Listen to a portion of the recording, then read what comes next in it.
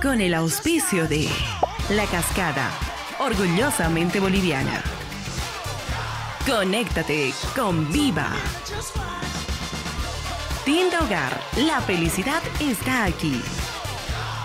Industrias, el viejo roble.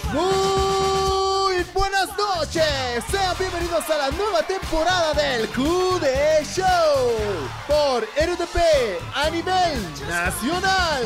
En la entrevista nos hablará sobre la alimentación consciente y sus vivencias con el Alzheimer. Wolfgang Keller, el desafía a tu conductor con el stop. El Q de Bar con Wolfgang Keller. En realidad perdida, la corporación Monsanto. Con ustedes sus anfitriones, Alan, Silvia y Freddy. ¿Cómo están?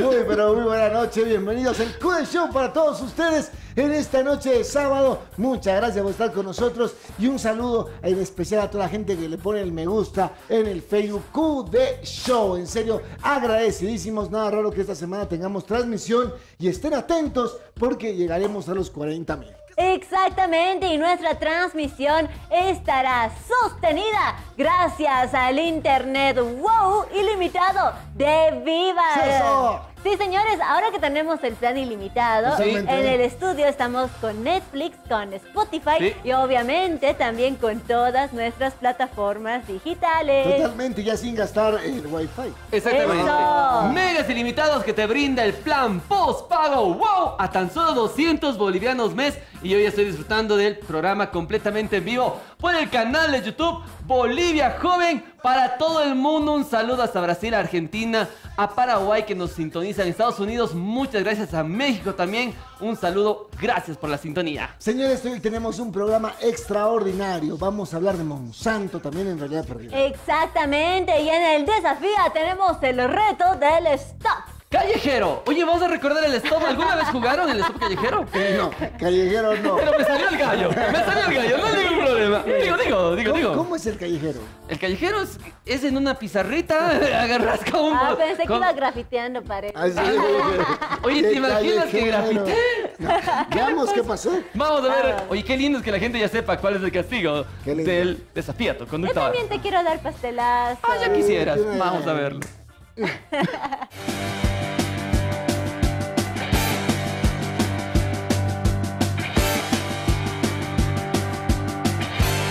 Bienvenidos al desafío a tu conductor, soy tu amigo Alan García y hoy les tengo un nuevo juego. Y esta tarde recordaremos el juego del Stop Callejero.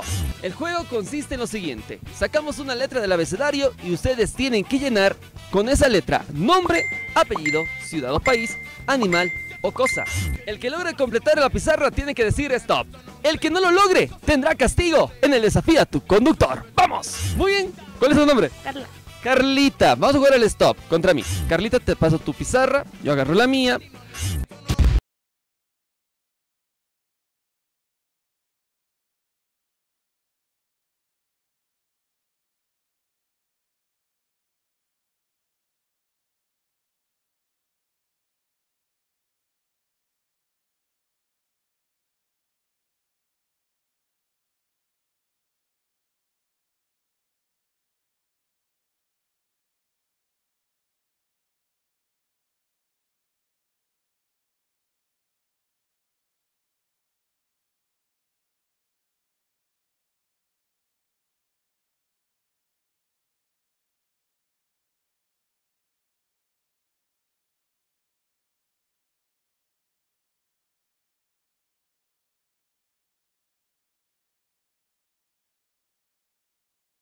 ¿Hay nombre Panamá? Me siento estafado. ¿Apellido? ¿Qué dice? Poma, perfecto. Ciudad país, París. Animal, perro. Y cosa, patín. Es correcto. Y me ganó. Así que yo recibo pastelazo. Vamos a ver quién más se anima a jugar este stop callejero.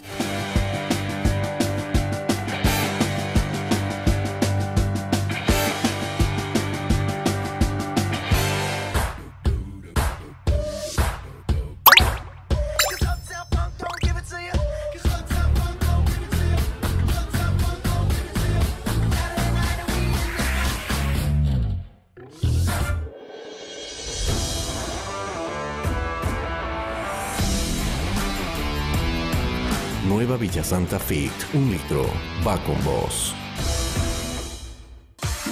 Con el calor de la Amazonía boliviana, nace como una brisa para los sentidos.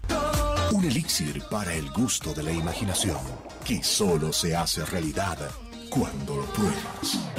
Una bebida que le pondrá el toque perfecto de emoción a tu vida. Cuba Libre, Dorados, porque solo acompañado sabe muy bien. De Industrias El Viejo Roble, nosotros ponemos la calidad, tú la responsabilidad. Consumo autorizado para mayores de 18 años.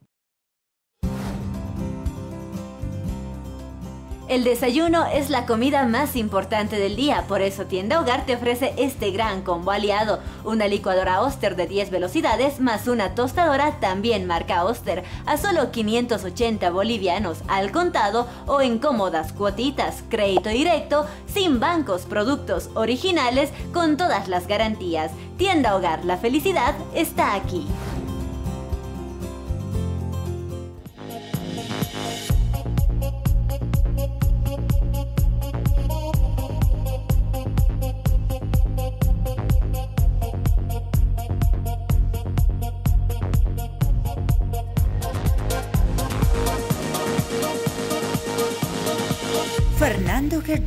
Y Beto Orozco. Sucursal Centro, Avenida 6 de Agosto, esquina Huachalla, Sopocachi. Sucursal Zona Sur, Avenida Montenegro, edificio Quiñovel, bloque J13, San Miguel. ¿Una llama rapera? Internet te sorprende ilimitado. Por eso, navega ilimitado. Cámbiate al plan post-pago WOW. Por solo 200 bolivianos mensuales, recibe megas ilimitados. Para que tus videos sean ilimitados, tus series sean ilimitadas y tu música sea ilimitada. Plan post-pago WOW. Megas ilimitados, WOW ilimitados. Conéctate con la velocidad. Conéctate con Viva. Esta empresa está regulada y fiscalizada por la ATT.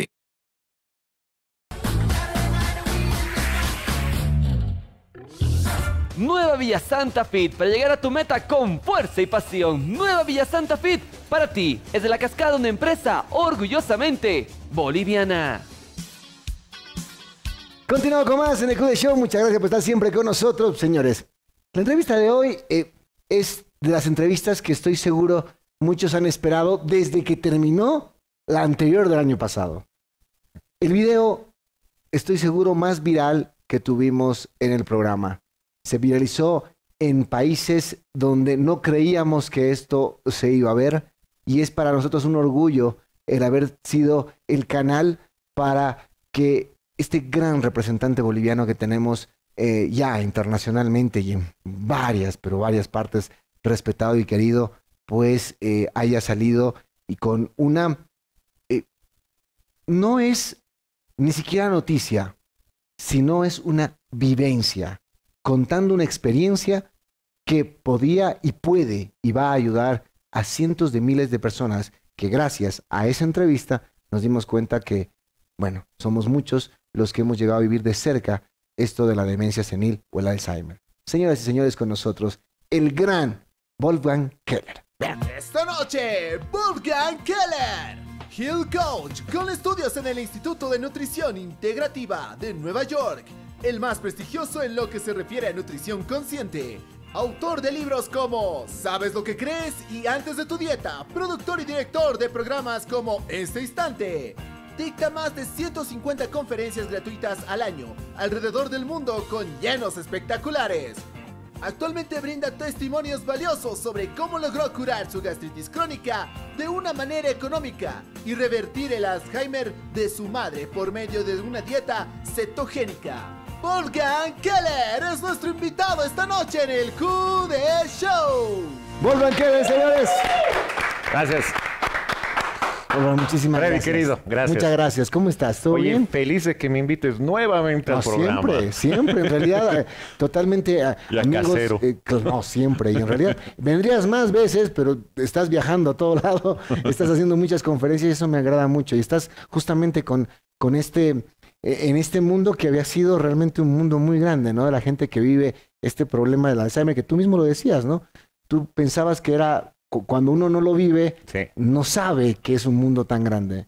Bueno, pero yo te agradezco en todo caso. Eh, nos hemos dado cuenta en la familia y además en el entorno de cuán grande es. Justamente gracias a la entrevista que hemos tenido contigo que se ha vuelto viral. Y pues nos, nos han empezado a escribir de todas partes de- del mundo, hispano especialmente, y donde te das cuenta que es una pandemia silente donde se dice que cada 15 segundos Wow. entra una persona en Alzheimer o en demencia senil. Entonces, o en demencia, ¿no? Senil ya no se la menciona. Y te das cuenta cuán duro es y cuánta gente que cree que sigue siendo incurable, porque obviamente, según la medicina convencional, pues no tiene cura.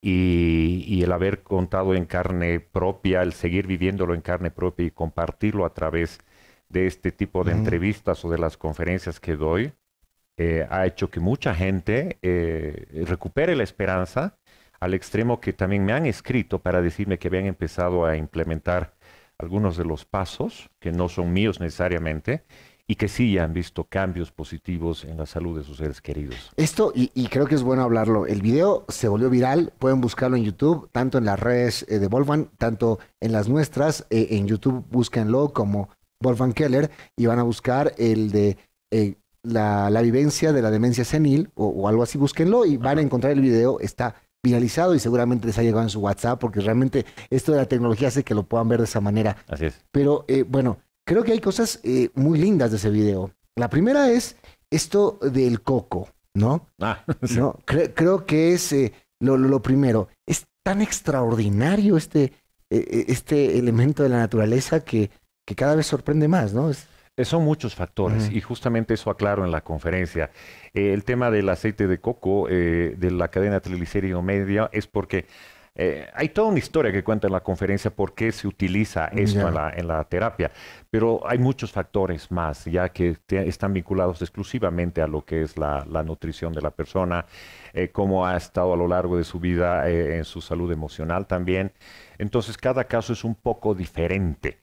Pero en líneas generales, eh, el coco para muchas personas, el aceite de coco o el de cadena de triglicérido medio ha ayudado mucho, pero aparte se necesitan muchas, eh, por ejemplo, vitaminas, minerales que son eh, neuroregeneradoras, en fin, y, y no todos siempre, a no todos les puedes aplicar el mismo protocolo. Entonces, el objetivo que doy en las conferencias es em, comentar mi experiencia y a su vez el mostrar referencias de profesionales, médicos estadounidenses especialmente, que son inclusive eh, superventas en el New York Times, gente muy respetada, que son muchos, y además instituciones serias que te dicen pues cuáles son los pasos a seguir que te orientan para que puedas que te orienten para que puedas sacar a tu ser querido de un Alzheimer o de una demencia, ¿no? Eh, no, es, hablaba- no es algo mío, Claro, te digo. te, te hablaba de esto porque mucha gente preguntaba, ¿y el aceite de coco cómo tiene que hacerlo? O sea, muchos hablaban de eso porque decían, es como que, digamos, algo extraordinario que, que se basa, ¿no? Eh, tú cuentas un poquito de eso, dijiste, ¿no? Le das una historia. ¿Nos puedes contar un poco de qué es lo, eso? lo que pasa es que yo, yo les digo a la gente, la- mucha gente me ha escrito diciéndome cuánto coco le doy a mi Sí, mamá, ve, ¿no? exacto, a eso va. Y yo les decía, eh, no va por ahí, porque nada sirve que le des coco si tu mamá sigue consumiendo gluten, si sigue consumiendo azúcar, si sigue alimentándose mal, no va a funcionar, ¿no? Entonces, la gente como que suele querer la, la píldora maravillosa Entiendo. o el vegetal maravilloso, pero sin dejar los malos hábitos. Ajá. Y eso es lo que trato de explicar, ¿no?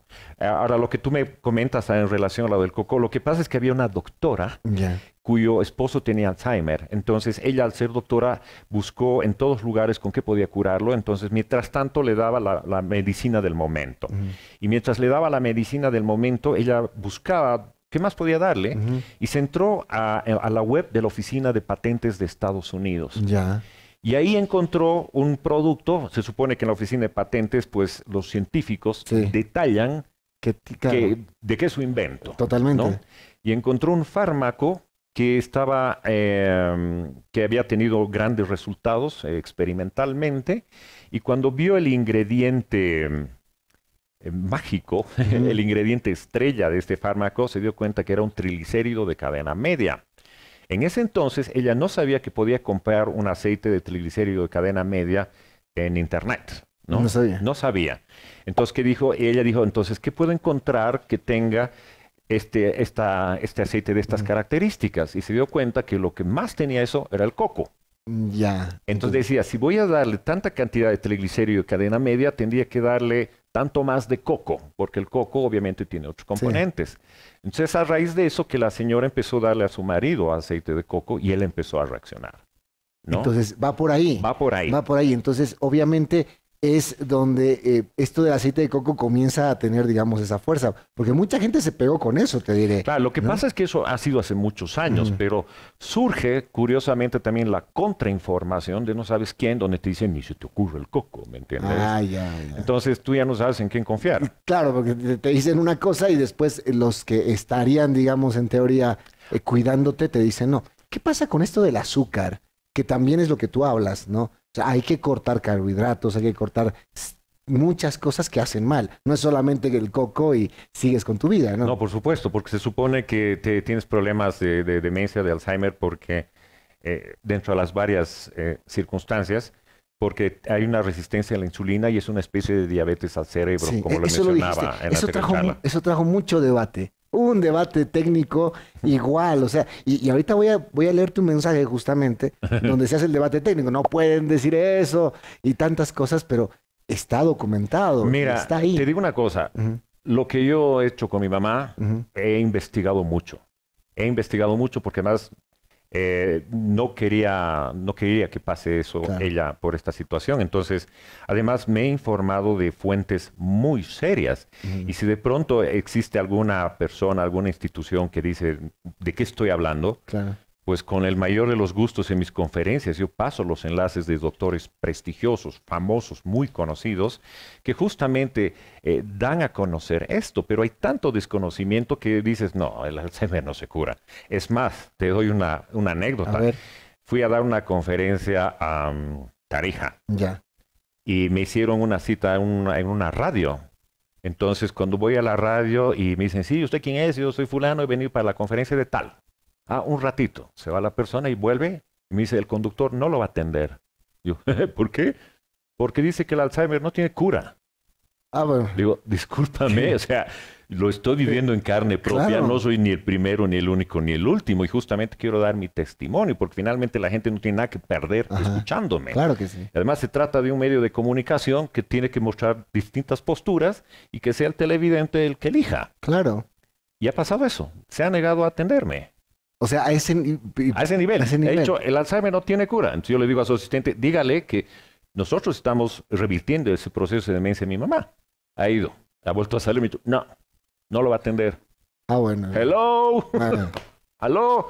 Cada Entonces, quien con su... eh, entonces ahí tú dices, ¿qué pasa ¿no? con los medios? O sea, yo sé que muchos medios pueden decir, se informa, se desinforma, Ajá. bla, bla, bla, pero yo creo que para hacer una aseveración tal, No tienes que estar previamente tú informado. Y además es un medio de comunicación, tú no puedes, o sea, eh, ¿y dónde está el derecho de, Es lo que te de digo. información tal cual, no? Claro, tienes el derecho a, a- a- a exponer lo tuyo y la persona te dirá, me parece bien, no me parece bien, pero ya te digo, hasta eso ha pasado. Hasta ese nivel. Entonces, yo lo único que digo, ¿sabe qué? Ese conductor lo único que ha hecho es privar a mucha gente de una posibilidad más de salud en su familia. Seguro, Sí. seguro que sí. Y, y- y bueno, un, un- un poquito, este, no sé, ¿no? Cuadrado, pero en, en- en- que ya, ya casi tomado en cuenta en un, no sé. Ahí te das cuenta, es que yo a, a mucha gente yo le decía, ¿qué tienes que perder? Si la medicina convencional te dice que no tiene cura. ¿qué tienes que perder? O sea, además en ningún momento yo digo que le quites la medicina a tu mamá, a tu papá, ni mucho menos. Yo simplemente eh, comparto la información de profesionales que están en esto hace muchos años de investigación seria y con mucha plata de por medio, donde se basa netamente en una cuestión alimenticia. Totalmente. No en vano se decía hace tantos años que tu, que tu alimento sea tu medicina y tu medicina sea tu alimento. Pero por alguna razón la gente cree más en los fármacos que en el potencial de los nutrientes de los alimentos. ¿Y eso eh, en qué momento se da la, la vuelta? ¿El marketing será? O sea, el, al- eh, el hecho de que... Porque vayamos 50 o 60 años atrás. ¿El boticario qué hacía? Porque no era farmacia, no era el boticario. Sí. ¿Qué hacía? Decía, me duele la cabeza, un ratito, ¿no? Entraba y esencias de muchas eh, hierbas y demás. Ujú, Hacía un mezclo, hacía la pequeña pócima, si quieres, o jarabe. Tome esto. En esencia es lo que estamos hablando. Pero en algún punto eso se tergiversó y obviamente se volvió cadenas de... Es que obviamente hay un interés muy grande a nivel económico, entonces, y además eh, es un tema muy, Muy grande, grande. muy largo, de que por qué con tanta evolución, con tanta tecnología, con tanta ciencia, con tanto dinero, hay más enfermos a más temprana Sí, edad ¿no? y gente dependiente de por vida de, de medicamentos, Mm. ¿no? Entonces dices, ¿por qué hasta ahora no encuentran la cura? O sea, la cura oficial, La, Oficial. la cura convencional. Y cuando de pronto tú das el testimonio de que has curado de una manera natural, de- con otra perspectiva de vida, desde un punto de vista de una medicina funcional o más holística, eh, como que no. O sea, No, no funciona. la gente no cree eso, entonces, No, ok. vo- volvamos a esa parte y, y acá tengo un mensaje que es el que vamos a hablarlo también porque me- merece un punto aparte. A ver. Este, el, eh, ¿qué, qué, qué esto con el azúcar? El reemplazo del azúcar es creo un problema mundial, ¿no? Este, el, el dulce se ha vuelto prácticamente el veneno que todo el mundo consume, ¿no? Y se busca el reemplazo. Y en algún momento hablábamos de si ese reemplazo natural debe ser la stevia, pero la hoja como tal, ¿no? Sí, sí. Pero ya hay el procesado que termina siendo lo mismo, termina siendo igual, diferente, peor. Bueno, en todo caso, eh, en líneas generales, para una persona con diabetes o, o que tenga problemas justamente a raíz de- del azúcar y su Ajá. insulina, no es necesariamente por las cucharillas que le pone a su café o a su té, sino por toda esa azúcar oculta que la encuentras hasta en tus salchichas. Claro. Esa azúcar que oculta que la encuentras en el pan, inclusive, en tu ketchup, en tu salsa barbacoa, o en los jugos saludables técnicamente en caja que están endulzados con jarabe de maíz de alta fructuosa, que es mucho más nocivo. Entonces no te das cuenta cuánta azúcar oculta consumes. Claro. ¿Me entiendes? Entonces la gente dice, no, yo no me pongo cucharillas de azúcar, dame algo de dieta, un edulcorante, pero te has seguido comiendo estito, Claro. el otrito con azúcar oculta y, y- y es Claro, por eso que todo, todo tiene que reducir. Sí. Pero ese azúcar está prácticamente en todo, ¿no? Sí, sí. Es eso. Y esto también es un problema dentro de lo que tú hablas, de esto de la demencia senil y el Alzheimer. Sí, claro, claro, ¿no? claro. También lo menciona un autor que es muy famoso y respetado, que es David Perlmutter, con su libro Cerebro de Pan. Y... Cerebro de pan. ¿Qué, qué- qué Sí, título, sí, sí, no? eh, Es, un, es un hombre famoso. Ajá. Y obviamente este Perlmutter es uno de los que está a favor Ajá. de la cura del Alzheimer eh, con un cambio de dieta, de estilo de vida. O sea, no soy yo, yo soy uno más que empezó a curiosear por internet y le dijo a su familia, miren, aquí tengo un libro que habla de esto, me parece coherente, me parece lógico, y ya que el médico nos ha dicho que no hay solución, nada nos cuesta cambiarle su forma de alimentarse. Totalmente, Nada nos cuesta. totalmente. y eso es lo que hemos hecho. hay- aquí hay un detalle, ¿no? Y eso lo hablabas también, pero no, no lo hemos profundizado en ese momento. Eh, cuando tu mamá comenzó a reaccionar, Sí. comenzó, surge otro problema. Sí. ¿no? Y, y coméntame un poquito ese problema, porque tu mamá reaccionó. Realmente le empezó a ir muy bien con, con- con la dieta y con este proceso, porque es tu vivencia y, lo que, y lo que viviste, y lo contaste muy bien. Pero sucede otro problema que también hay que enfrentarlo, ¿no? Sí, sí, lo he mencionado varias veces también, que el problema es que al momento de empezar a recuperar la memoria, recupera su- sus antiguos hábitos, sus malos hábitos. Se da cuenta que ya, ya como ella ya puede irse a comprar las cosas sola, se va al mercado sola, sabe que quiere un helado, entonces va al lugar del helado, o sea, o sea necesitas Claro. estar de una u otra manera lúcido para ir, saber de dónde va a sacar el helado, pagarlo y llevártelo a tu casa. Claro, ¿Me enti- totalmente. me sí, entiendes? claro. Entonces, cuando se compraba su helado, Abusa ocultas- de lo que se curó, ¿no? Tal cual. Claro, entonces ella no se daba cuenta. Ajá. Ella solamente antojaba el helado, pero ya tenía toda la capacidad como para acordarse qué tenía que hacer para tener el helado, Claro. ¿no? Y obviamente este helado pues la sacaba de cetosis, ¿no? De, de ese estado que queremos en que entre una persona para que el cerebro se alimente de cetonas y no de glucosa. Y entonces te enfrentas a ese problema, porque de pronto ella eh, quiere esto y no quiere el otro, y ya no hay caso de, de marearle la perdiz. Claro. Porque una vez también cuento en mis conferencias, eh, mi mami es panera, Mm. mucho pan. Y el pan, hemos empezado sin pan, pan sin gluten para cuidar el intestino, pero seguía siendo pan con carbohidratos. Claro. Y mi mamá, té con pan, té con pan, té con pan. ¿Qué hacemos? No, la no, no podemos lograr transitosis. Entonces, cuando ella me decía, anda a comprar pan, yo le decía, ya. Y me iba al baño, ¿no? Y yo decía, ahora hasta que se olvide. Entonces volvía, ¿y todo bien, mami? Sí, ¿no? Se me hacía loco. Claro. Y las primeras veces mi mamá se olvidaba. Ajá. Y hasta que un día me dice, anda a comprármelo pan. Ya, mamita, terminaré de hacer estito, ¿no? Ajá. Haciéndome al loco. Y a los cinco minutos, ya pues, Ya. ¿qué hago? Entonces ese rato me salgo con pretexto de que este, necesitaba hacer algo. Hago hora unos cinco minutos. Vuelvo al cuarto y mi mami me dice, o vas tú o voy yo. Claro, veía. Oh my God, ¿qué hacemos? Ahora recupero la memoria. Claro, está, está en eso. Sí, sí, o sea, no. Entonces hemos optado, se me iluminó el foco después de una conferencia en España, de darle pan cetogénico. Entonces, por suerte en Alemania hay todo eso a través de Amazon, de eBay. Entonces conseguimos un pan cetogénico en base a harinas de almendras, nueces y pura, Ujú. puro- puras grasas buenas, que tiene apenas 2% de carbohidrato. Entonces mi mamá Sí. podía comer todo el pan que quiera Claro. y iba a seguir en cetosis. Entonces ha sido asunto arreglado. Segundo problema que hemos tenido con mi mamá, que, ok, el azúcar para su té. Oh, por Dios. Claro. ¿Qué hacemos? Porque cada día solo tomo cuatro tecitos al día. Entonces calcula dos Calcula. cucharitas, Claro. cuántos gramos de azúcar, chao cetosis. todo. Entonces, eh, eso ha sido un problema que nos ha perjudicado en su salud porque tampoco puedes prohibirle, porque se enojan, se molestan, Claro. todo se va al tacho. Entonces Ujú. tienes que negociar y en la medida de lo posible hacer que y, consuma lo que debe consumir. Hemos, hemos probado mm, de manera, ya te digo esto, no lo hemos visto en el libro. No sé todavía hasta qué punto podrá, tendremos resultados mejores. Hemos probado con xilitol y con eritrol. El, xilitol es, parece azúcar, sabe azúcar, pero no es azúcar. Es un producto natural.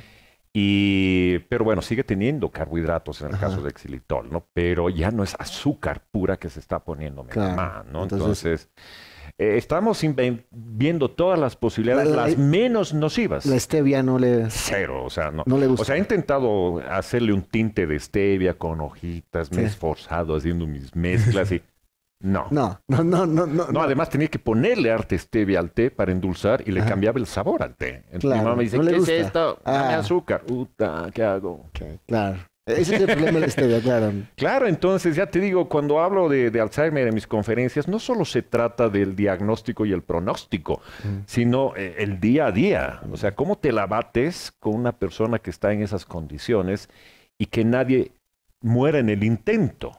Porque ese es el Por problema. los eh, nervios, ¿no? La, la tensión que hay. Porque, como dices, o sea, vas recuperando Sí. y vas teniendo el conflicto de mantenerla en ese. En ambos casos hay conflicto. Claro. En ambos casos. eh, el problema es que, por ejemplo, hay gente que dice, eh, tengo que ir a trabajar. Le dices, no, papá, hace 20 años que estás jubilado. No, no, tengo que ir a trabajar. Entonces, ¿cómo le discutes eso? Claro. Y de pronto le cierras la puerta para que no se salga y no se pierda. Y te dice, ¿por qué me encierras? Y te arma un escándalo. Claro, ese, ese es el problema de... de- ¿Y de- cómo le haces? Mm. Entonces, lamentablemente, eh, hay muy poco en este tema, porque normalmente lo que hace el médico es te da el diagnóstico, te da las pastillas y te dice, ahí Dale, vamos, ¿no? O ahí sea, vamos. se deslinda del problema, obviamente no tiene por qué seguir, pero eh, curiosamente, por ejemplo, ahora cuando le hemos llamado a mi, ma- llamado a mi mamá a su, a su control, Control. el médico dice, está mejor, ¿qué han hecho? "Mm, Nada, Nada. jugo verde. claro. Y el hombre dijo, ok, sigan así. Ni se ha mosqueado en más. Claro, porque para él es caso claro, o sea, cerrado, o sea claro. eh, normalmente en el caso de, este, de, de- de- de muchos doctores, Sí. no de todos, obviamente es, muy bien, te voy a hacer tus exámenes de, rutina, de memoria, de movimiento, qué sé yo, te hace unos series de unas cuantas, unos cuantos test y te dice, bueno, está mejor, no está mejor, siga, siga participando, ¿no? Claro, Toma su pastilla y bueno, váyase. Pero eh, yo no he visto en ningún momento, eh, en nuestra propia experiencia, que haya una mayor compenetración de cómo está reaccionando, qué le pasa. Eh, no hay eso. No hay. Y tampoco eso hay en los libros. Mm, Entiendo. Y Eso, es- eso tienes que vivirlo en carne Y propia. cada quien tiene su testimonio. Sí, ¿no? y es por eso digo, en las conferencias que he dado en el exterior, se me ha acercado mucha gente con mamás y con papás con Alzheimer. Y, y bueno, una carencia muy grande de información, especialmente desde el lado de nutrición. ¿Y cuántos me decían, si hubiera sabido de esto, mi mamá no se hubiera ido? Claro.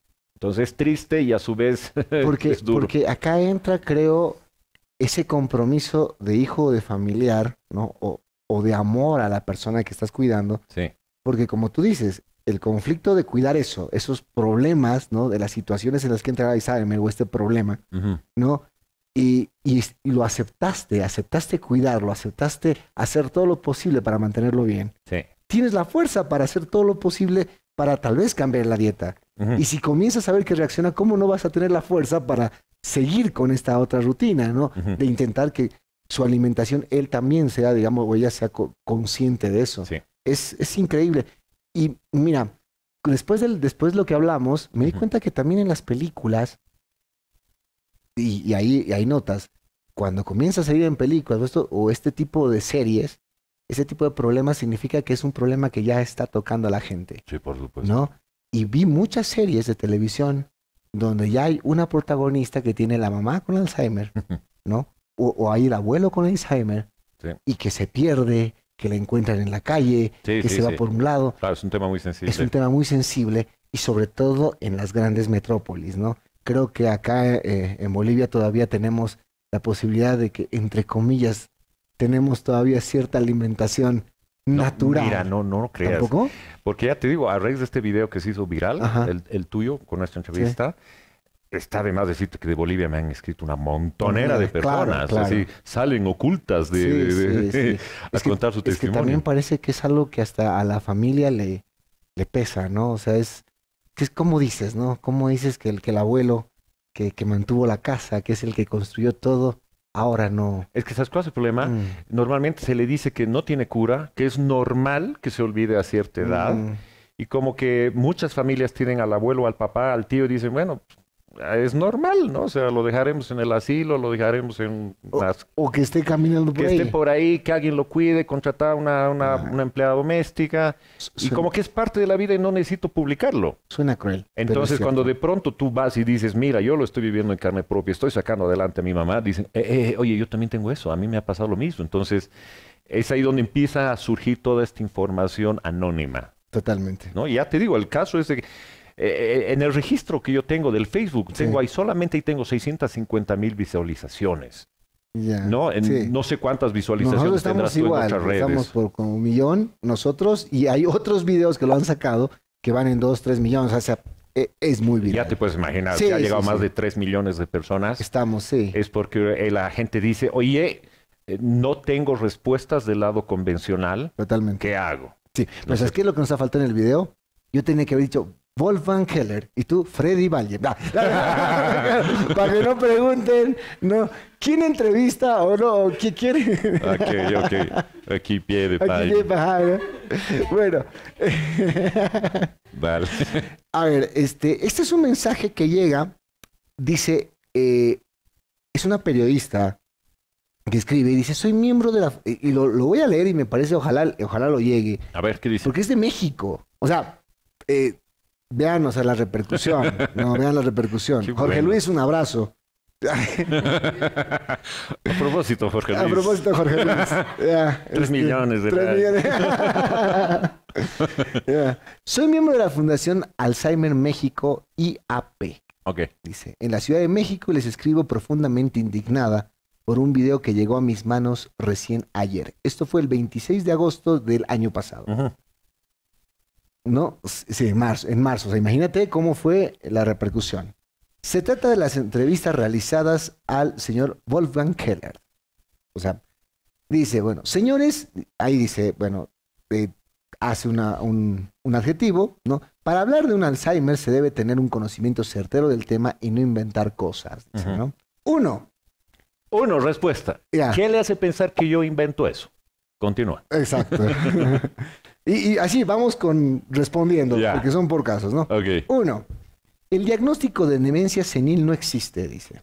Existen diferentes tipos de demencias, entre las cuales se encuentra el Alzheimer. Sí, ¿Sí? sí.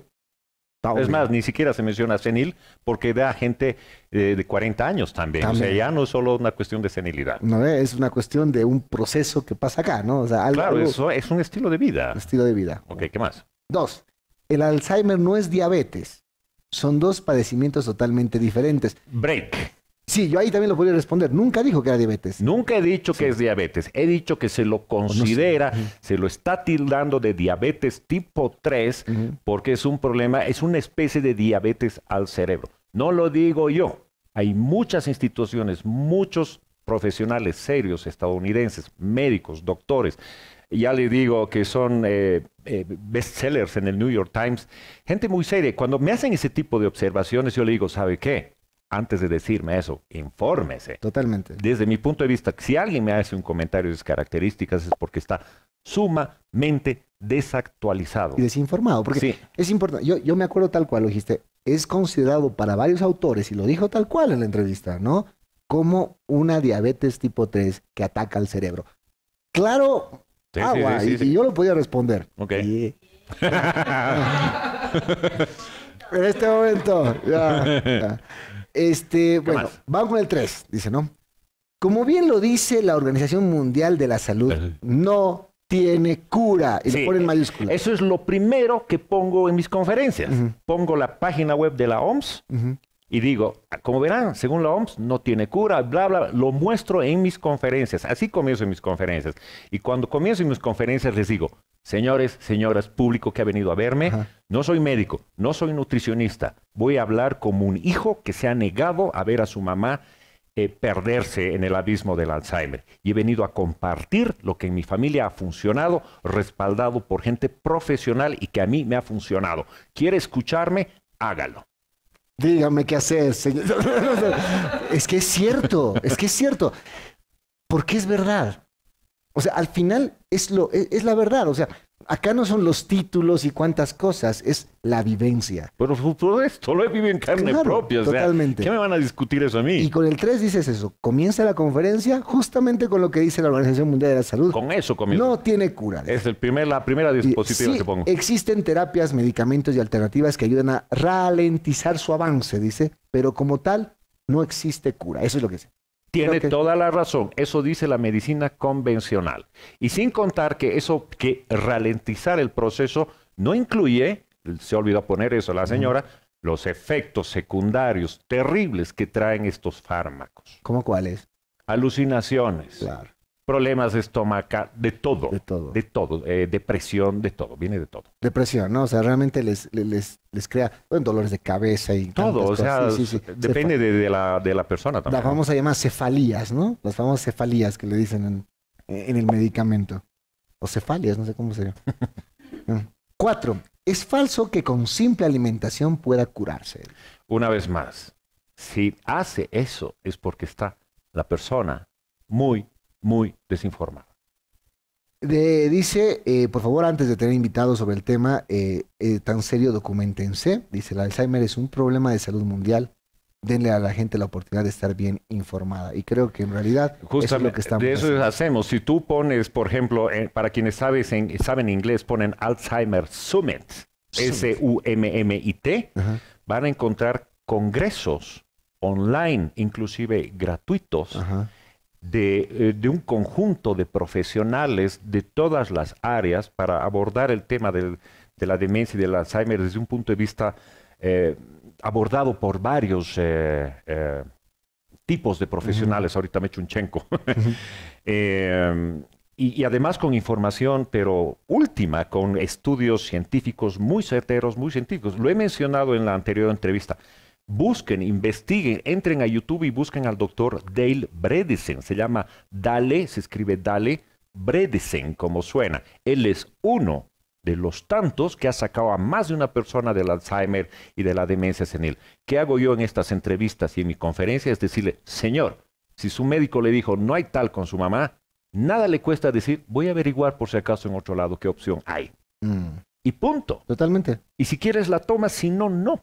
Exacto. Exacto, porque y en realidad no, no pierdes nada, es la Por verdad. Supuesto. Totalmente. Si tan, ¿qué, ¿qué, más haces? Y pasa lo mismo, creo que con tantas otras eh, eh, tendencias, ¿no? De diagnósticos. Pero por supuesto. ¿no? Donde dices, no pasa nada. Lo mismo es con el Parkinson. Exacto, el Parkinson. El, mismo, bueno, ya tocando cosas muy delicadas, el mismo cáncer, ¿no? Que se ven casos de que obviamente no son comprobados y demás. Hay muchas cosas que con una alimentación pueden reducir. pero ¿sabes qué es lo peor de eso? Cuando eh, inclusive el, el famoso Instituto Gerson que está en Tijuana, que ha sacado a miles de personas del cáncer, no falta de pronto eh, un médico, no digo todos, algún o alguna persona, no necesariamente médica, que diga, eso no es posible.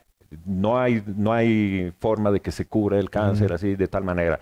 Y es gente que te critica sin haber ojeado ni una sola página del Instituto Gerson. Mm. Es persona que no se ha tomado la molestia de averiguar qué es el Instituto Gerson y menos, obviamente, de entrar en contacto con el Instituto Gerson y decirle, oiga, podamos, podemos compartir material médico para ver cómo ha ido sus casos, para ver yo si realmente lo que usted está haciendo me convence o no. Totalmente. O sea, criticar es fácil.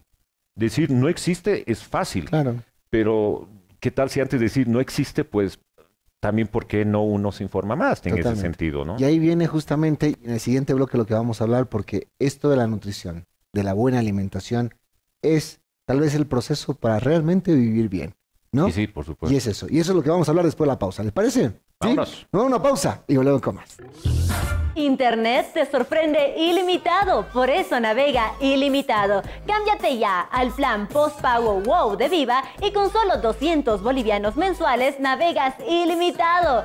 Sí, por eso ahora tus series, música y video son ilimitados. Conéctate con la velocidad, conéctate con Viva.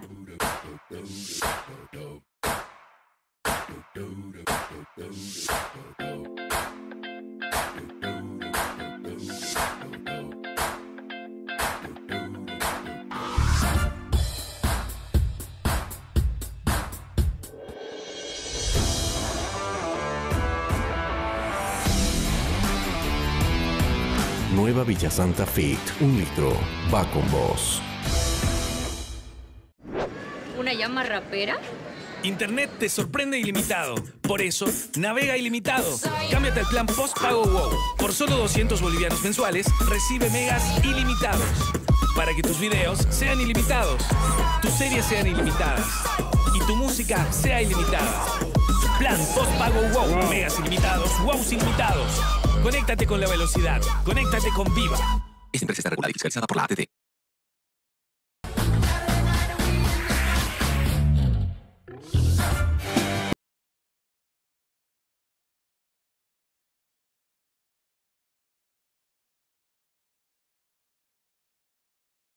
Fernando. Fernando, hermano, me ganas, me das pastelazo. Si yo te gano, te doy pastelazo. Esto no era parte del trato.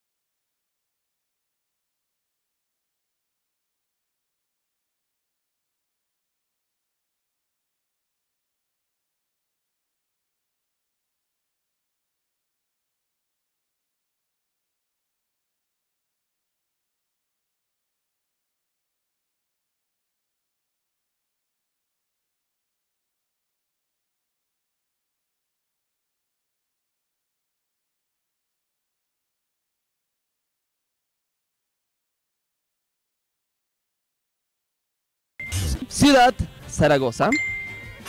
Animal, zorro, cosa, zapato. Mi querida amiga recibe pastelazo.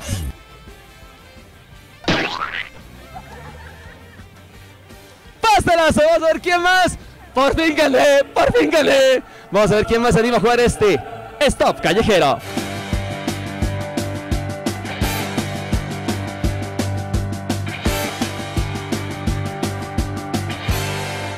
La nueva Villa Santa Fit, un litro de agua solo para ti. Villa Santa Fit, el agua que va con vos. De la cascada orgullosamente boliviana. Continuamos con más en el QD Show por banquear con nosotros, señores. Salud. Salud, salud, salud. Muchísimas Gracias. gracias. No se brinda con agua, lo sé, pero lo que hay que hacer es vida. con ¿Quién agua. dice eso? Un abrazo a Paco Segovia, es un tarotista de las estrellas en México. Dice que no, se brinda con vino o con algo así, con- no con agua, porque el agua termina siendo vida. Ok. No, no, no es vida, ¿qué es? Ay, por Dios, perdón, Paco. No se brinda con agua, ¿Por qué? porque es puro, o sea, es pura. Ok. bueno, ya, ok, está bien. ¡Salud! ¿Y qué pasa si no tienes trago? ¿Qué haces ahí? Juguito de Te uva. fregaste, nunca podrías brindar. Claro, jugo de uva. Pues si no tienes nada de eso, ¿qué haces? Una rica Villa Santo. Salud. Ah, no, salud, salud. Ok. Ya no, ya se va a enojar. Volvan, coméntame un poquito acerca de las conferencias. Has estado en, to- en toda Bolivia y también has ido al exterior con esas conferencias y, y este programa de televisión también, ¿no? Con el Naturalmente, que creo que cambia la perspectiva de ver la alimentación, ¿no? Sí, eh, bueno, estoy contento por eso. Ya naturalmente está saliendo en, varios, eh, en varias ciudades. Y bueno, el impacto ha sido igual muy, muy positivo porque la gente eh, se entera cosas que jamás había pensado, que lo mismo me ha pasado a mí, por eso he querido compartirlo. Y bueno, pues las conferencias también, a, a Dios gracias, se han, se, han, se han dado. He podido estar en, dando conferencias en España, en México, en Portugal, también dando talleres en ciudades, también he dado un taller en Alemania, por ejemplo. Y por ese lado me siento satisfecho. Te das cuenta que sea España, México, Bolivia, tenemos problemas de alimentación, claro, todos, todos. ¿no? Mucha desinformación. Y obviamente me alegra eso porque es bonito llegar a México y enterarte que una persona ha viajado 6.000 kilómetros para verte. Claro, wow. Entonces, eso, eso te causa mucha satisfacción, es una gran alegría que la gente pues, se tome ese esfuerzo. Y bueno, por ese lado muy feliz, ya te digo, y confiando de que el programa siga eh, adelante. He dado varias conferencias de, de Alzheimer, ahí viene el coco, en el año pasado en Bolivia. Ujú. Este año voy a seguir dándolas, justamente eh, le toca a, mm, a Oruro, a Potosí, a Sucre, y, y seguir hasta lo, lo que se pueda, porque ahora nuevamente me voy a Alemania a seguir con el cuidado de mi mamá en mayo. Y vuelvo yo creo que en julio para la Feria del Libro, donde si Dios quiere voy a presentar mi tercer libro. ¿Qué es respecto a esto? Eh, es el, eh, tengo, una, tengo una gran duda, porque Sí. según yo estoy escribiendo el Antes de tu Dieta parte 2, Ya. ¿no? que he visto que hay mucho material Sí. faltante. Y quería que solamente sea un capítulo del tema del Alzheimer, pero con lo que hemos vivido en mi familia, pero da material para escribir algo muy grande, más grande, mejor dicho. No sé cómo lo voy a abordar, Ya. porque a esto se van juntando otras perspectivas, otros proyectos, ya no sabes en qué momento lo Porque vas a además hacer. con esto de las conferencias te diste cuenta que realmente es un problema muy serio, ¿no? O sea, es... Sí lo es, y Sí. obviamente se necesita, eh, ya te digo, de pronto cuando te dicen, tu mamá, tu papá está enfermo de esto, ya, dale tal medicina y punto, pero en el caso de la demencia o el Alzheimer hay un día a día eh, personal de, de cuidado muy grande, más aún si lo haces tú, porque ya te digo, muchos, muchas personas no les queda otra por distintas circunstancias de dejarlo en una casa de cuidados paliativos, en un asilo, em, por distintas razones, obviamente. Y, y bueno, entonces la familia no se entera qué es lo que pasa y, y ya dije, ya pues, así es la es vida, ¿no? Entonces, Mm. nosotros que estamos viviendo día a día eso con mi mamá y, y hay mucha gente que también por cuestiones económicas no les queda otra que tener en casa al paciente Claro. son los que más padecen, entonces trato de, eh, en lo que quiero proyectar como un futuro libro, es de decir qué he hecho yo, o sea, Claro. con qué me he enfrentado, cómo he tratado de solucionarlo, cómo he tratado de hacer más llevadera la vida con una persona que se olvida de las cosas y que puede ser muy complicado y, y muy divertido a la vez, inclusive, ¿no? Claro, porque igual experimentas eh, este, esta vida y además te conoces también, ¿no? Con O sea, te doy un ejemplo de cosas Claro. graciosas. Eh, el año pasado, lo cuento en mis conferencias, de pronto mi mamá me hacía la, siempre, la misma pregunta, entonces yo le contestaba la misma respuesta, ¿no? Ah. Claro. Entonces, yo dije, ahora le voy a contestar otra cosa, a ver, ¿qué me dice, no? O sea, es medio malicioso yo. Claro. Entonces, me hacía la pregunta y yo le contestaba otra cosa y mi mamá como que hacía un, un no, no, no entendía, ¿no? Entonces dije, ah, bien, la estoy haciendo funcionar.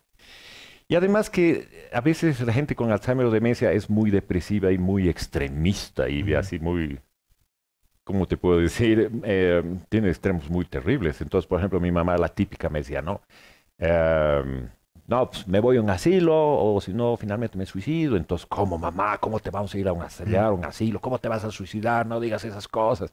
Y lo único que hacíamos era ahondar el problema. Entonces, una vez mi mamá me dice, eh, bueno, voy a un asilo. Digo, mamá, ¿sabes cuánto cuesta un asilo? Pues mi mamá ya me dice que, pero, pero no, pues pagamos más. Mami, ¿sabes? Necesitamos pagar como 3 mil dólares aquí y allá. Necesitamos como 30 mil dólares. ¿Quién va a pagar eso? Ah, mi mamá empieza a pensar, no, cierto, contrataremos una enfermera.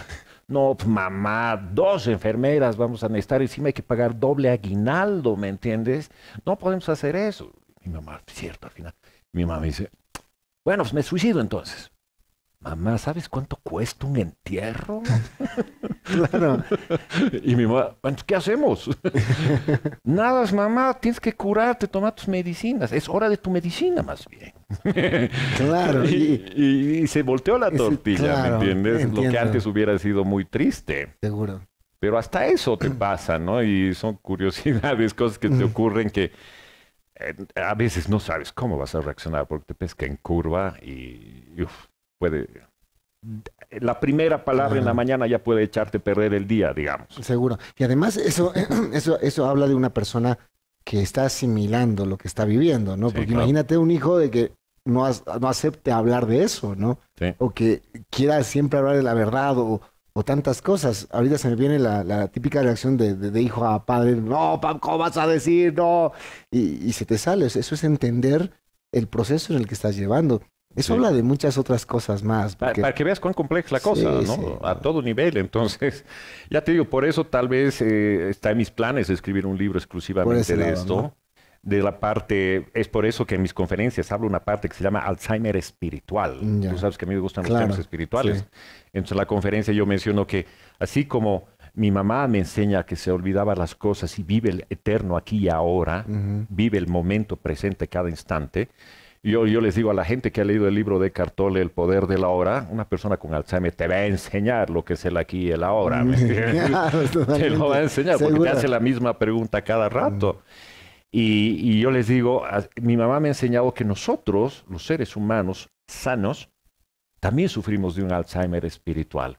Porque de pronto estás feliz con la vida, has hecho tus oraciones, has ido a tu congregación o has ido a, no sé, pues a, tu escuela mística, dependiendo de tu línea, estás levitando, estás todo amor y cariño, amo a la humanidad. O tal vez eh, simplemente tú solo, ¿no? Te despiertas feliz. Estás así, pero resulta que ni bien te llega el mensaje al WhatsApp en tu estado de elevación, dices, ay, ¿qué quiere este bobo otra vez?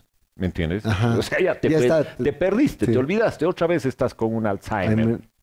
Qué bueno. ¿Me entiendes? Qué bueno. Te, te olvidas de, eh, de, lo que estabas haciendo, te olvidas de estar presente. qué buen término, Alzheimer espiritual, totalmente. Todos vivimos un Alzheimer espiritual. De pronto vives el Alzheimer espiritual con tu pareja, ¿no? Eh, con, con, tus padres, en el momento que, que te enojas. ¿dónde, ¿Dónde quedó ese, esa parte amorosa en ¿Dónde quedó el vamos hacia adelante, no? Claro. Vamos hacia arriba y pasa cualquier cosita. Claro, ¿dónde quedaron tus oraciones por el prójimo?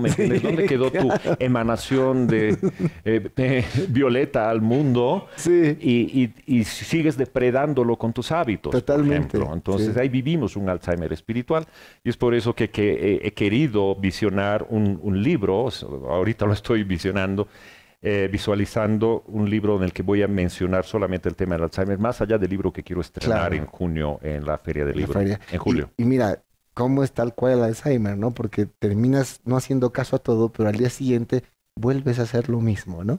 Otra vez las, las mismas vibras y otra vez las oraciones y todo, y otra vez... Te... ¿Y sabes, sabes qué me ha enseñado? Por de pronto, eh, alguna vez nos ha pasado a todos en la familia, que de mi pronto mi mamá se enojaba con algo y, a ti te hacía reaccionar y te, te, pones molesto, ¿no? Claro. Entonces pasan dos minutos y como si nada ella. Y vos... ¿Me entiendes? Entonces donde dice, ah, olvídalo, porque ella ya se ha olvidado. Claro. y segundo, que yo le decía eso a mis hermanos. El problema, de nada sirve que le expliques que le aclares, que trates de tener la razón, porque se va a olvidar. Pero ¿sabes de qué no se olvida? Si eso viene con una carga emotiva negativa. Totalmente. O sea, si de pronto alguien le dice a su mamá, pero ya te he dicho, enojado, Ajá. la mamá se va a olvidar del ya te he dicho, pero se va a acordar de la claro. eno- del enojado. Ajá.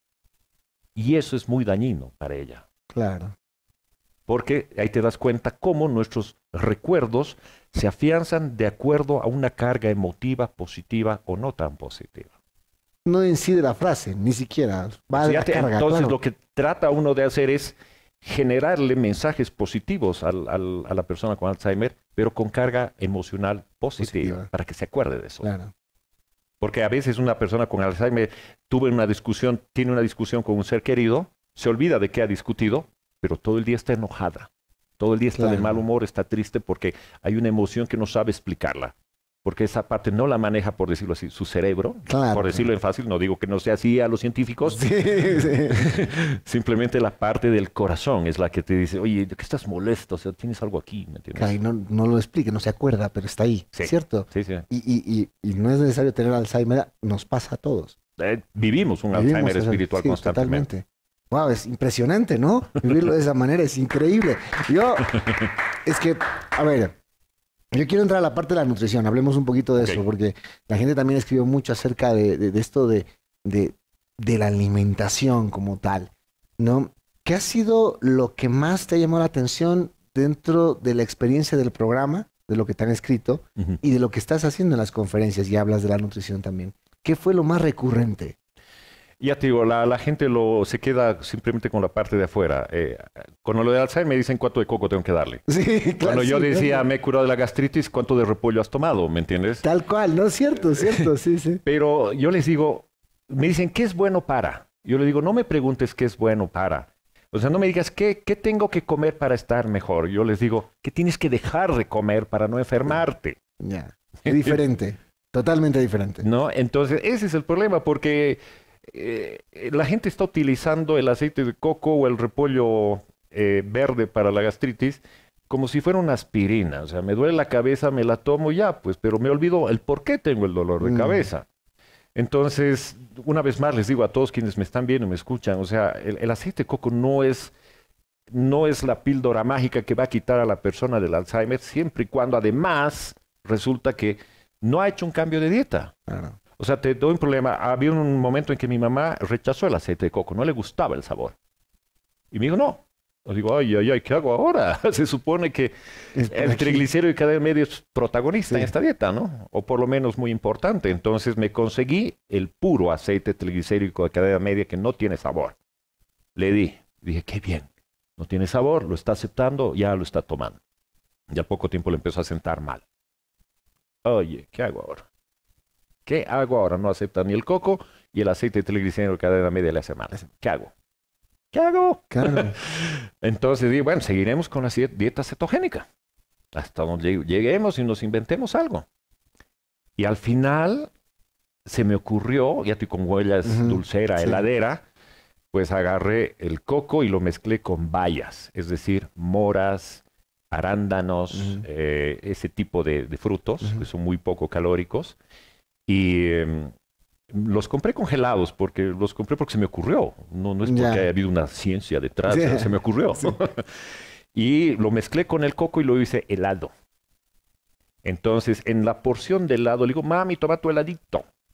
Y ahí le estoy dando su coco. Entonces, mi mami ha vuelto a aceptar el coco. Coco. Entonces digo, ay, qué bien. O sea, Claro. por lo menos esto más otra vez Entiendo, hemos vuelto sí, a agarrar sí. la cosa. Ah, Obviamente le doy medida, o sea, tanto de coco y tanto de, de bayas para no salirnos de la cantidad de carbohidratos que debe consumir para Ajá. no pasarse de la cetosis. Claro. Sí. Y entonces ahí entra esto, ¿no? De la pregunta que te hacen. No es qué comes, sino qué dejas de, de comer y el qué te hace bien también. Sí, ¿No? son muchos los factores. Además, ya te digo, en el caso de este doctor Del Bredesen, te manda a hacer pues unos análisis para ver dónde está el problema y qué tuerca apretar. Claro. ¿Me entiendes? De pronto le das aceite de coco a una señora, pues y le suelta el estómago. Ok, entonces, ¿qué hacemos, no? Plan B. Claro. Que- Entonces, no es así nomás. Claro, ese es el problema. Ahora estamos muy acostumbrados a eso, ¿no? Es como que sentimos que tenemos que comer algo para ponernos bien. y no dejar cosas para ponernos bien. Es, es una, es, es como una costumbre, ¿no? O sea, es como que para estar bien necesito, denme algo. Sí. Y no de, eh, oye, ¿Qué es lo que me hace ¿qué daño? es lo que me hace daño, no? Sí, sí. Eh, Esto es bien enraizado, ¿no? Es social, cultural. Es que muy- yo muy- creo que eso también eh, es una cuestión, yo creo, muy, muy grupal, porque también es muy común, te pasa eso con las medicinas, ¿no? O sea, Mm. me duele el estómago, ¿qué, qué tomo para el dolor de estómago? Tal, eh, estoy resfriado, ¿qué tomo para el resfrío? ¿Me entiendes? Que tengo tal dolencia, ¿qué tomo para esto? Entonces, normalmente en el tema farmacéutico hay un fármaco para cada Claro. dolor, por decirlo en fácil, ¿no? Pero no estás curando la causa. No, pues solo, solo estás ah, haciendo que te deje de, de molestar ese, ese Claro, de momento, pronto tienes claro. problemas de azúcar. me- ahorita voy a ser muy exagerado con el ejemplo, discúlpenme. tienes problemas de azúcar, pero te dan tu pastilla para bajar el azúcar y la tomas con tu jugo, ¿me entiendes? Con, Sí, con- con no. tu gaseosa. Claro, con- o sea, no, estoy exagerando, no es el caso, pero, Pero pa- así- parece chiste, pero es cierto. ah, somos así un poco Sí, de un poquito complicados, ¿no? Sí. Y eso viste mucho en las, en las conferencias. Sí, es que la gente quiere, digo, la solución inmediata. solución ¿Sabes qué, inmediata. qué, qué es bueno para que mi mamá se cure el tiro? Oye, entonces si le dices coco y dice, oye, le he dado 20 kilos de coco y sigue mal, obvio, pues, Obvio, porque pues, no has, claro. no has hecho Hasta el tal vez les ha aumentado. o sea, no has hecho el resto del Claro, trabajo, ¿no? claro. Y eso es lo que la gente no entiende. No Y- entiende. Y, cuando una persona me dice esto, ¿sabes qué? Yo solo he compartido lo que me ha hecho bien, a lo que ha hecho bien a mi familia. Por favor, infórmate, por favor. eh, busca este doctor, mira sus videos, entra a su blog, busca a otros doctores que él menciona, infórmate más. O sea, ¿no sabes inglés? Pues, ¿sabes qué he hecho yo en mi familia? He comprado el libro que estaba en inglés, he hecho copiar y pegar en el traductor de Google, a la mala. Lo he tenido en español y eso he compartido con mi familia y les he dicho, ¿sabes qué? No tenemos nada que perder. Aquí está toda la información, toda la lógica con la que se basa este prestigioso doctor. Y nos está hablando de alimentación, de nada más. Nada más. Y creo que alimentar no estás haciendo nada mal. Claro. O sea, no estás haciendo nada mal. Le estás quitando frituras, le estás quitando comida procesada, le estás eh, quitando azúcares nocivos. O sea, ¿por qué la gente reaccionaría mal a eso? Totalmente. Si le estás dando una dieta saludable. Exacto. Y eso de las dietas vamos a hablar al volver a la pausa. ¿Te Vale, parece? dale. Hablar de las dietas porque también hay polémicas y todo con esto de las dietas que también eh, tú eh, las experimentas, ¿no? Muchas las, las, eh, las vuelves tuyas también. Sí, sí, ¿no? sí. Y sobre todo eh, también quiero que me cuentes esas experiencias. ¿Te parece? Vale, claro que sí. Pausa y volvemos.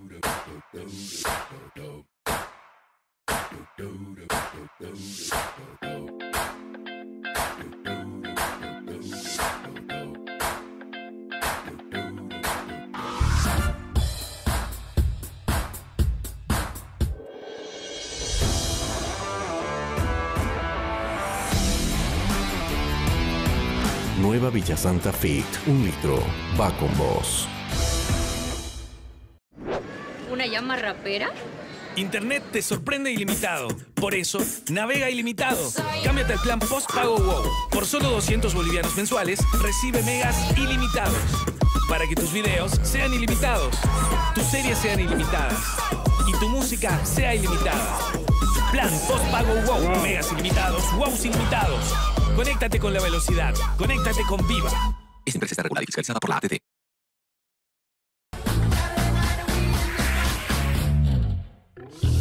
El regalo perfecto para mamá lo encuentras en Tienda Hogar, porque lo puedes comprar al contado o en cómodas cuotitas con crédito directo, sin la necesidad de ir a los bancos.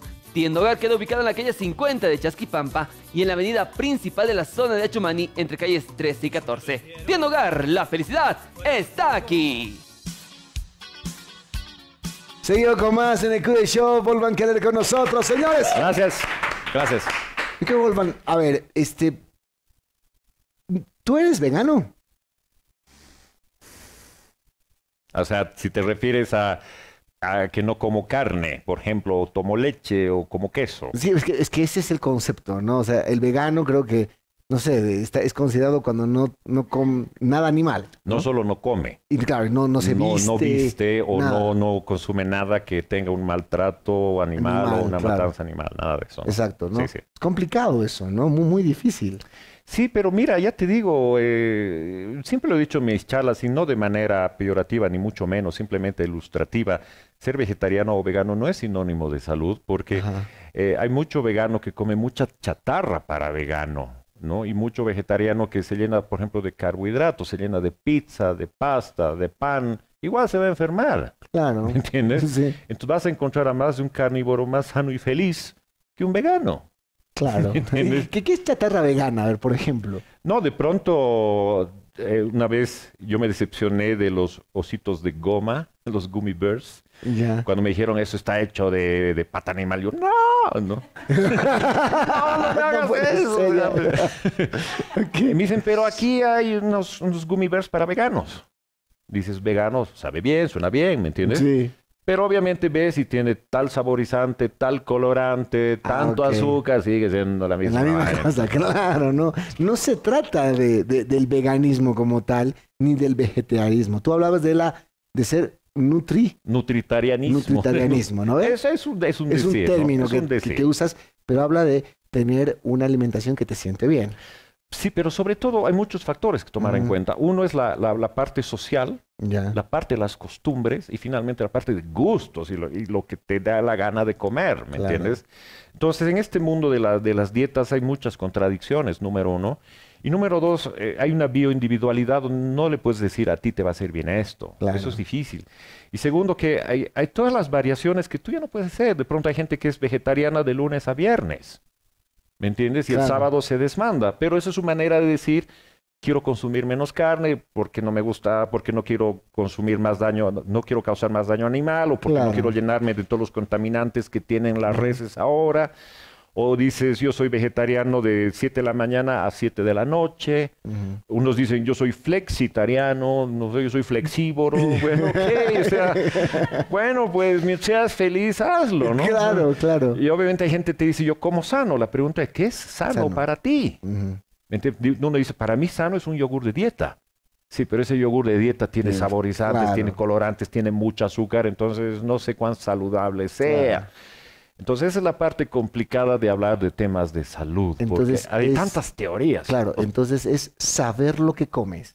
Al final Inf- terminas informarte, porque de pronto dicen, pero ¿qué tiene de malo comer un trocito de jamón en el desayuno? Ajá. Si yo le digo, ¿sabes qué aditivos tiene ese jamón? No. Ok. ok. Entonces, claro, ahí va, ¿no? ¿Me entiendes? Ok. Bueno, cuando sepas, tal vez ya no quieras jamón. Exacto. Cuando sepas, ¿no? Bueno, chao publicidad del jamón. no, pero cierto. Entonces, eh, ¿tú cómo ves esta onda? Porque creo que hay que hablarla, ¿no? El mundo está eh, girando a esto del veganismo como incluso una lucha o una bandera. Y también como No. un marketing. Y como, exacto, ¿no? Sí, sí. Terminó siendo esto. ¿Cómo lo ves tú eh, cuando tú profesas el hecho de comer bien? O sea, de, de- de encontrar lo que te hace bien y ser lo más sano posible, ¿no? Mira, yo creo que hemos sido influenciados por intereses económicos de la industria alimenticia. Cuando la industria alimenticia se ha dado cuenta que había un movimiento vegano, vegetariano muy fuerte, han dicho, pues hay que subirse al carro, entonces vamos a hacer productos para veganos, para vegetarianos, vamos a inventar estas cosas, vamos a proponer estas cosas, no siempre las más saludables. Entonces entras en ese juego del marketing donde dicen que es más saludable, que no, si comer así, comer así, entonces ya no sabes qué hacer. Entonces lo que, lo que yo opto es por el sentido común. Claro. He escrito un capítulo en uno de mis libros que se llama La comida en la creación, donde visualizo un, un Dios, un Adán y una Eva, otro Dios, otro Adán, otra Eva, para, no causar ah, susceptibilidades Claro. religiosas. Eh, donde cómo comían en ese entonces y qué comían. No, además siempre digo, o sea, eh, no somos carnívoros, somos, no, no tenemos colmillos, tenemos caninos, ¿no? Unos dirán, pero el ser humano siempre ha sido carnívoro desde épocas inmemorables. Yo, según yo es que el, el- el humano antiguo copiaba la conducta animal, porque no le quedaba otra, Claro. ¿no? Eh, por dar un ejemplo, o de pronto como dicen, pero Wolfgang, ¿cómo no vas a consumir leche tan buena para el calcio, los huesos? Yo le digo, mira, hasta después del segundo viaje de Colón no había una sola vaca en América, claro. ni en, ni en otros países. No había ni vacas, ni, ni, ni cerdos, ni ovejas. Menos leche de vaca había en América desde el Big Bang hasta después del segundo año de Colón, del viaje de Colón. Entonces, ¿tú has escuchado hablar de momias con osteoporosis? No. Y además la gente te habla de leche de vaca. Entonces, en, en África, donde los faraones, ¿qué tomaban? Mm, No sé, leche de camello tal vez, ¿me entiendes? ¿Y qué harían los esquimales? Leche de osa, ¿me entiendes? Si se deja ordeñar Sí, la ¿no? osa, ¿no? De morsa. ¿no? Bueno, Entonces ahí te das cuenta cómo te manipulan con el tema de la leche. En una de las conferencias muestro, por ejemplo, en el caso de la leche, cómo, cómo se lo comparaba con el té y el café. Cómo lo usaban, incluido, lamentablemente, utilizaban eh, médicos para respaldar eh, esta información, de la misma manera que usaban eh, LM, Camel y muchas marcas de cigarrillos, utilizaban médicos también para justificarse. o sea, a ese nivel. Y eso tú lo encuentras en YouTube, lo encuentras en Wow. Internet, no me estoy inventando. Claro. Entonces, y y voy una vez más por el sentido común. Te digo, mira, la leche de vaca es para los becerros. Así de simple. O sea, el ser humano, cuando, cuando hay el destete, significa que el bebé ya no necesita ese tipo de alimento, necesita pasar otro tipo de alimento. Claro. Si no, la mamá estaría eternamente con leche, ¿me Claro. entiendes? Entonces yo me voy por ese lado lógico. Y busco que si de pronto trato de... Es por eso también que hay la dieta paleo. Ponte, la dieta paleo es más vegetales y carne, ¿no? No consumen los productos de la agricultura convencional, porque tienen igual su lógica. Claro. Y yo digo eso, o sea, si de pronto hace años, eh, hace 3.000 años, me invento, yo hubiera estado solo en la jungla, sin, sin microondas, sin nada, me hubiera encontrado una mazorca, no lo hubiera comido. Claro. Diría, esto, este alimento no es para mí. Ujú. Claro, no, puedes, no puedes, no. Claro. Sí. O de pronto encontraba unos porotos y me los comía crudos, me hubiera dado una tremenda infección. Me hubiera dado, una papa, digo, ¿no? no, no una infección, me hubiera dado un tremendo eh, dolor de estómago, una diarrea, porque tiene un insecticida, por decirlo en fácil, eh, cuando no es cocido, este tipo de legumbres. La ¿no? papa igual. Bueno, o, por ejemplo, en- claro, en el caso de la papa, o sea, si tú no habías descubierto el, el fuego el que fuego- comías. Sí, la papa te... Claro, entonces yo opto por consumir eh, lo que técnicamente hay en abundancia, que son vegetales y frutas. Pero obviamente la sociedad dice, oye, no, no me acceso, no puedo vivir solo de vegetales y frutas, dame más. ¿No? Digo, obvio, entonces, ok, bueno, pues, bueno, prueba con quinoa, si quieres, amaranto, este, prueba con los mismos porotos, con las legumbres, está bien, bárbaro. Date cuenta que ser vegetariano o vegano no es sinónimo de comer alpiste y pasto y Claro. solo lechuga, tomate y cebolla, ¿no? Totalmente, No, no es eso. Ajá. Tú ves en YouTube eh, eh, menús veganos o crudi veganos, que eso me, es- me gusta es, mucho, lo crudi vegano, encuentras cosas deliciosas y sobre todo te reencuentras con la naturaleza y con los ciclos de la vida. O sea, ya es otra filosofía. Otra filosofía. Ma- marcado también en eso, ¿no? En un estilo de vida que vas llevando de a poco. Y eso no es solamente un cambio. Y aquí quiero meter, antes de, de hacerte una pregunta que, que ha sido un boom también en, la- en- en las redes sociales. Tú dijiste algo extraordinario, que lo dijiste cuando nos quedamos charlando después de la, de la entrevista que tuvimos. Eh, y alguien te preguntó, ¿no? Y, y- y fue muy buena la pregunta. ¿Qué pasa con los que tienen el vicio o, o el hecho del traguito, ¿no? No, y tú decías, y no vas, yo no voy a, no voy a mentir como tal. Dije, ¿qué pasa el traguito? O sea, tomar un, un- o qué tiene de malo, ¿no? Irse a tomar un, Un trago. un trago de alcohol y demás. Y tú dijiste algo que a mí me, me sirvió de lección. Me dice, a ver, yo estoy intentando decirte que no comas algo que en teoría todo el mundo te dice que es sano. ¿no? ¿Cómo a ese, a que el que sabe que se está envenenando, cómo le voy a hacer pensar diferente de otras cosas? Y eso es muy cierto, ¿o no? Eh, ¿Te acuerdas o no? No, lo, lo dijiste así. A ver, explícamelo mejor. No, a ver, lo, lo expliqué muy mal. ¿Cómo era la cosa? Dijiste, o sea, al que se envenena sabiendo, ¿cómo le voy a decir que se envenena con cosas que no sabe que tienen? O sea, lo, lo decías así, el que toma. Ah, no, el no, que fuma. creo, creo que lo que he dicho ha sido, no sé qué es peor, el que vende algo tóxico a sabiendas que es tóxico o el que lo consume a sabiendas que es tóxico. Exacto, algo así. ¿Era de eso? No, ¿No? no, no, no. Era como decir, o sea, no, no voy a perder el tiempo con personas que saben que se están, o sea, se están haciendo daño a, de, de forma directa. Que saben. Que, están saben, claro. O sea, cuando uno come una carne, ¿no? En teoría, este, no sabe todo lo que va detrás de la carne. Entonces, Pero aún así lo- la gente lo come, ¿no? lo come, claro. Pero no lo sabes. En teoría, eh, Estás pecando. estás pecando sin saber. Sí, sí. Pero cuando consumes alcohol, sabes que te hace daño. Bueno, depende qué alcohol, ¿no? ¿Sí? Bueno, se supone que inclusive vas a escuchar que tomar un vino es saludable, Sí, ¿me sí, entiendes? Eh, y ese tipo de cosas. O sea, por ese lado he aprendido a no irme a los extremos, Ah. ¿no? Además que, sin contar la parte del alimento primario que yo digo, que es el, el disfrutar la vida, el compartir con los amigos, todo eso. O sea, eh, yo en ese sentido no quiero juzgar, Juzgar y no me toca juzgar a nadie porque, bueno, cada uno está en un proceso diferente y además eh, no a todos les sienta bien lo mismo, no todos ven la vida de la misma manera, entonces unos dirán, bueno, yo voy a ser vegano de junio a, a marzo y ya, bueno, pues hazlo si te gusta bien, pero Por- sí es bueno que sepas qué estás comiendo y trates de comer lo mejor posible en la medida de, del proceso por el cual estás pasando. Porque en teoría si podrías ser vegano y darte buenas farras los viernes. Eh, hay mucho de eso. No o sea, sí, claro o no, puedes ser vegano. Podría ser, sí. Claro, alcohol de madera. No, ahí está. No, ¿sí o no? Whisky.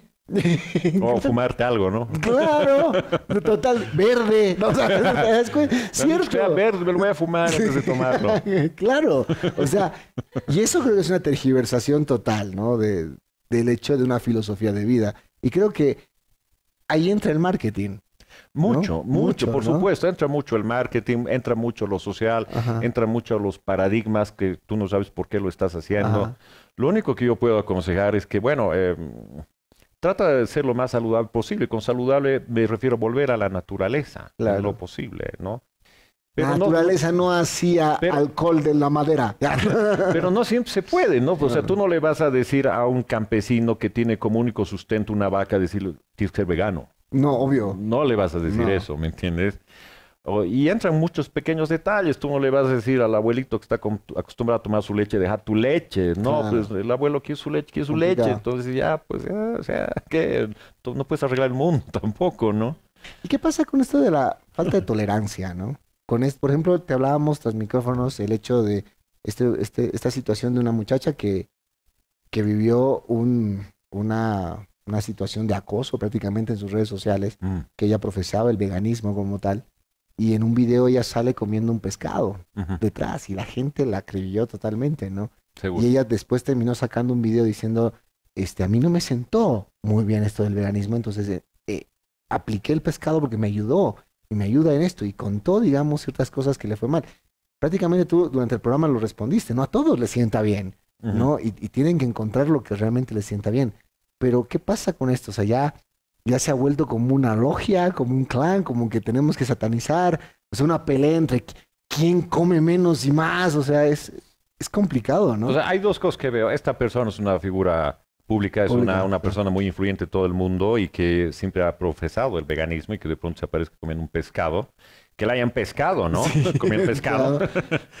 Eh, tal vez lo más correcto hubiera sido decir eh, en público antes que Sí. la pesquen, pues, ju- justamente por toda la responsabilidad que ella lleva, porque Claro. está, pues, estaría decepcionando a mucha gente, ¿no? Además diciéndole, oye, me has estado dando una dieta que, que ni a ti te funciona, funciona. ¿no? claro. Entonces, eh, pero eso es para mí ver de afuera y no entrar en la piel de la persona.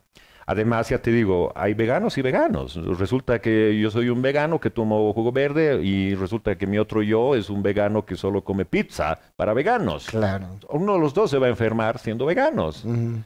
Eh, y es por eso que ya te digo, o sea, que es saludable, ¿no? Hay gente que se considera vegetariana y come pollo. Pollo. Pollo. Porque dice que es carne blanca, o sea, ya, ok, es carne igual. ¿no? Pero otros dicen, no, yo soy ovo lácteo o yo soy vegetariano y como, eh, como pescado también. Y para mí sigue siendo carne, sigue siendo omnívoro la persona, ¿no? Pero más allá de que eres omnívoro, no omnívoro, vegano, crudo vegano, frugívoro, ¿sabes qué? Volver a lo más básico posible, o sea, tratar de comer lo más natural posible, ¿ok? ¿Te gusta la carne? Pues em, trata de no comer la basura que nos venden Mm, muchas claro, veces, sí. la, la industria de alimentos. Y, em, y- trata de ser feliz. que es lo más importante, Sobre ¿no? todo, y, Ah. y que sepas qué conlleva una alimentación chatarra y sobre todo no estar informado. Ya te digo, es muy diferente que consumas mil calorías de, de- de lechugas, de brócolis, de que consumas mil calorías de galletitas. totalmente. Veganos los dos. Veganos los dos. ¿Me entiendes? Y, y resulta que dices, bueno, me ha ido tan mal que tengo que comer pescado. Entonces la gente se decepciona porque ha comido pescado, pero normalmente no se ve el trasfondo de en qué no se ha alimentado bien. Exacto. Porque hay muchas dietas que dicen yo soy vegana y ves su dieta y es puro macronutrientes. Mm. O sea, puro, qué sé yo, puro, puro carbos grandes, Claro. ¿no? Y ni siquiera estoy hablando de carbos refinados. Pero ves muy poca, muy poco fitonutriente de pronto, o muy poca grasa saludable, ¿no? Porque hay también ese mito que la grasa es mala. Ujú. Obviamente, si vas a agarrar un, eh, un pescado y le vas a meter un aceite de canola, sí es tóxico. tóxico Obviamente, el, el aceite al, al- al calentarse es tóxico, ¿no? Entonces son muchos los factores. Por ejemplo, en la conferencia que, que doy del Alzheimer muestro los casos de una institución muy seria que a su vez presenta los casos de Alzheimer. Presenta el caso de un señor que se dio cuenta que perdía la cognición cuando consumía flan sabor a vainilla. Es decir, sea, que el sí. saborizante a vainilla, que lo encuentren en quequecitos, en dulcecitos, en mermeladas, era lo que le causaba el cortocircuito al caballero. Entonces, cada organismo tiene diferente sensibilidad de acuerdo a muchos factores, su microbioma, su estabilidad emocional, su salud mental, bla, bla, bla, que lo que a mí te hace, me hace bien, a ti no te hace bien, Claro. ¿no? De pronto, algún- la, la típica me dicen, ¿cuál es tu jugo verde? y una persona alguna vez me escuchó, trató de copiar todos mis ingredientes y Sí. tomó el jugo y lo hizo mal. Claro. Me dice, no, a mí ese jugo me hace mal. Le digo, obvio, porque tú tienes otro microbioma. Eh, además, el primer jugo verde que yo tomaba me pareció asqueroso porque le he metido todo pensando que más era mejor. Ajá.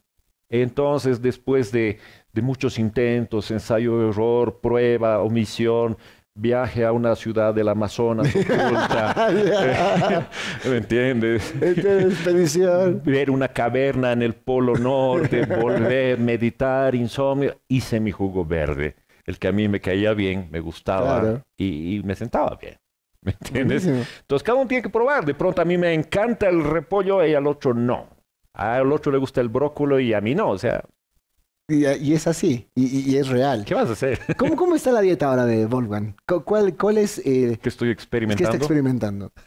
Ahorita estoy haciendo una dieta 16-9, se llama. Ayuno intermitente 16 16-8. 16-8. Significa que cada 16 horas como. Tengo una ventana de 8 horas donde me alimento, porque mucha gente te dice qué comer, pero no te dice cuándo comer y por qué, Ya. ¿no? Entiendo. Entonces, y yo he estado investigando mucho esto de la dieta intermitente y he querido probarla justamente porque doy conferencias, porque escribo libros y porque quiero contar en carne propia cómo me ha caído bien a mí o no tan bien, que puede ser distinto en tu caso. Claro. ¿no? Además son muchos factores, además que hay muchas variaciones de estas dietas. Tengo una persona en España que ha tenido un problema de, eh, de hemiplegia, si no me equivoco, que se empezó a curar con una dieta eh, de ayuno intermitente y encima cetogénica. Ujú. Y él me dice, mi última comida es a las 3 de la tarde. ¿Por qué? Porque quiero desayunar con mi familia y almorzar con ellos por cuestiones sociales. Mm, ya, entiendo. Pero cuando tú ves en YouTube a esos youtubers musculosos que hacen fitness y hacen 16-8, dicen, mi última comida es tipo 10 de la noche para poder ir a compartir una cerveza con los amigos. Ay, claro. ¿Me entiendes? Sí, sí.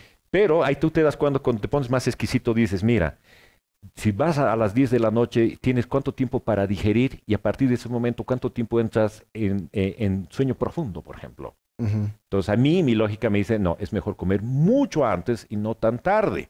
Pero igual sigue siendo válido para otras personas seguir comiendo, una, haciendo una dieta de 16-8 en la noche por cuestiones sociales, por compartir la cena con la enamorada, con el enamorado y no, no hacerse No sé. regañar, ¿me Claro. entiendes? Entonces son muchos los factores que entran a la hora de tú escoger el horario de una dieta intermitente en este caso, ¿no? Yo hago 16, 18 horas como normal, eh, no desayuno, o sea, desayuno. Desayuno. claro. Desayuno, que no es lo mismo que el desayuno americano, ¿no? O sea, no es que despierto a las 7 de la mañana, tengo que desayunar porque es la comida más importante del mundo. No. Yo desayuno cuando se cumplen mis horas, Claro. ¿no? ¿Por qué? Porque además pienso que el cuerpo necesita un... Cuando tú comes, el cuerpo dice, a ver, ¿qué me has dado? A ver, ¿qué vaina me has dado? Vamos a digerir esto, esto es bueno, esto hay que botar, esto hay que desintoxicar, esto hay que asimilar. Ya, una vez que ha hecho toda la logística al cuerpo, dice, ok, vamos a distribuir donde, donde debe, de- debe ir todo. Entonces, una vez que ha digerido tu cuerpo, suponiendo que es tu última comida, ¿qué dice tu cuerpo? Ahora, ¿qué hacemos? ¿Qué hacemos? Bueno, pues vamos a revisar cómo está la casa. Ujú. Entonces, a ver, eh, que esa proteína está media mala, vamos a reciclarla. Y eso es lo que se llama la autofagia. Ya. Entonces el cuerpo empieza a reciclarse cuando está bastante tiempo en ayuno y además que empieza a hacer una desintoxicación más exquisita, ¿no? Es por eso que muchos, muchos que hacen ayuno intermitente de pronto eh, toman bastante líquido para que especialmente de la noche al día siguiente eh, ayuden a botar el resto de las toxinas que el cuerpo ha ido desechando. Pero si tú estás entrando a ese proceso de, de, autofagia, de que tu cuerpo está entrando a una fase superior de regeneración, tú le metes una galletita. Claro. Está. Ya lo has fregado. ¿Me Claro. entiendes? Entonces, obviamente, la gente dice, ¿cómo aguantas 16 horas sin comer? No te da hambre, no te da sueño, no te quieres morir a media mañana porque no has comido tu salteña a la media mañana. No, tengo más energía. Claro. Pero es que, a ver, entendamos esto. Durante ocho horas te alimentas. Sí. Ya, y 16 no. Por favor, entendamos eso. No es o sea, dieta. No es dieta. No es o dieta. sea, no, no, no es de que él está dejando de comer, digamos, no sé, un tiempo y volviendo. No. Estoy organizando Está mi ventana de comida. Exactamente. Sí. Y si ustedes en el fondo ven eso, no es tan anormal. No lo es. Para nada. O sea, si tú ordenas tu vida, te das cuenta que si empiezas a comer a las 9 de la mañana, terminas a las 5 de la tarde, ¿no? Tu cuerpo tiene el tiempo necesario para asimilar todo, entras, duermes y vuelves a eso. O sea, entendámoslo, porque cuidado alguien quiera tergiversarlo y... No, una vez más, si alguien no ha entendido, que entre a YouTube, a Internet sí. y busque ayuno intermitente y vea muchos videos, no Sí. solo uno, muchos, para que saque sus propias conclusiones. Claro. Eh, muchos, en muchos videos vas a ver eh, algo que yo también apoyo, es que en nuestros, nuestros ancestros, hace 10 mil, 20 mil, 30 mil años, no estábamos en la mañana con que, ay, tengo sueño para ir a cazar el mamut. Tenían la energía, tenían la masa muscular y hacían eso. Porque mucha gente dice, oye, ¿y no pierdes masa muscular? ¿No te chorreas? Y le digo, ¿cuándo has visto un músculo chorreado? Claro, no hay, pues, No hay músculo chorreado, Chorreado. lo que se te chorrea es la, la- la- la piel Piel. por la grasa. ¿No? Y además me dicen, ¿pero acaso no pierdes masa muscular? Le digo, no, porque el cuerpo es muy sabio. ¿Qué dice el cuerpo? Acabas de comer algo, perfecto, lo voy a volver en azúcar, lo voy a volver en glucosa. Oye, pero acabas de comer mucho, entonces voy a guardar esta reserva en el hígado en forma de glucógeno. Entonces, cuando necesite energía, voy a convertir el glucógeno otra vez en glucosa y voy a seguir teniendo energía.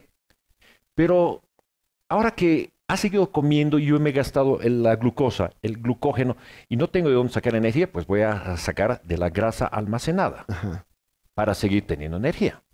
Y solo cuando ya he quemado toda la grasa, ya estás en modo inanición, recién empieza a sacar, eh, empieza a convertir la proteína en azúcar. Recién. recién.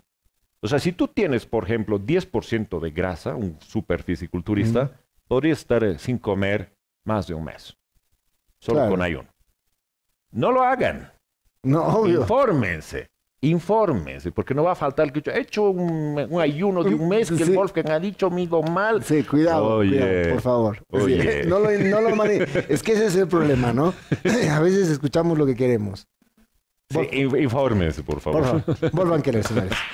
Gracias. ¡Capísimo! Gracias.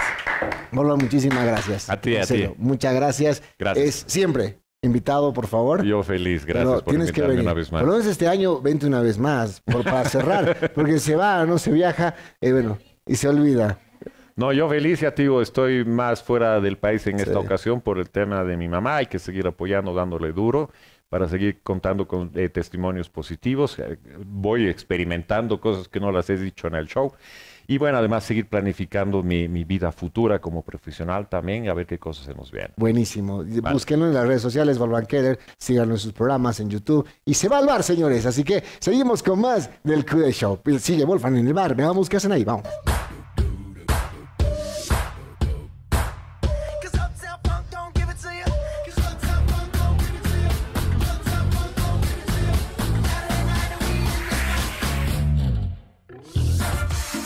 Con el calor de la Amazonía boliviana, nace como una brisa para los sentidos.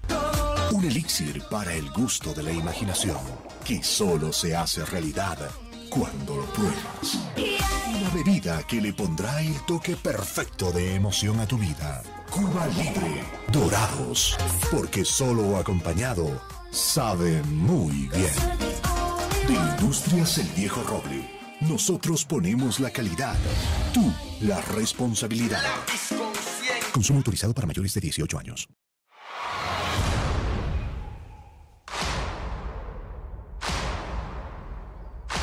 Some people move on. But not us.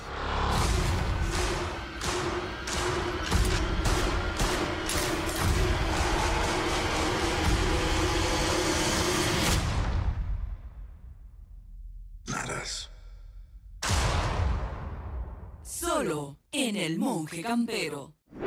¿Una llama rapera? Internet te sorprende ilimitado. Por eso, navega ilimitado. Cámbiate al plan post-pago WOW. Por solo 200 bolivianos mensuales, recibe megas ilimitados. Para que tus videos sean ilimitados, tus series sean ilimitadas y tu música sea ilimitada. Plan post-pago WOW. Megas ilimitados, WOW ilimitados. Conéctate con la velocidad. Conéctate con Viva. Esta empresa está regulada y fiscalizada por la ATT.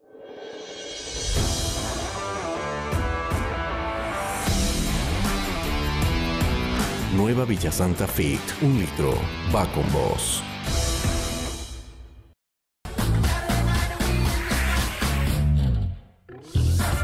Este mes de la madre, Tienda Hogar tiene combos espectaculares para ti. Recuerda, muchos electrodomésticos, celulares, laptops y computadoras, tú puedes llevártelas al contado o en cómodas cuotitas. Con crédito directo, sin intermediación financiera, productos originales con todas sus garantías. Tienda Hogar te espera en la calle 50 de Chasquipampa y entre calles 3 y 14 sobre la avenida principal de Achumani. Tienda Hogar, la felicidad está aquí.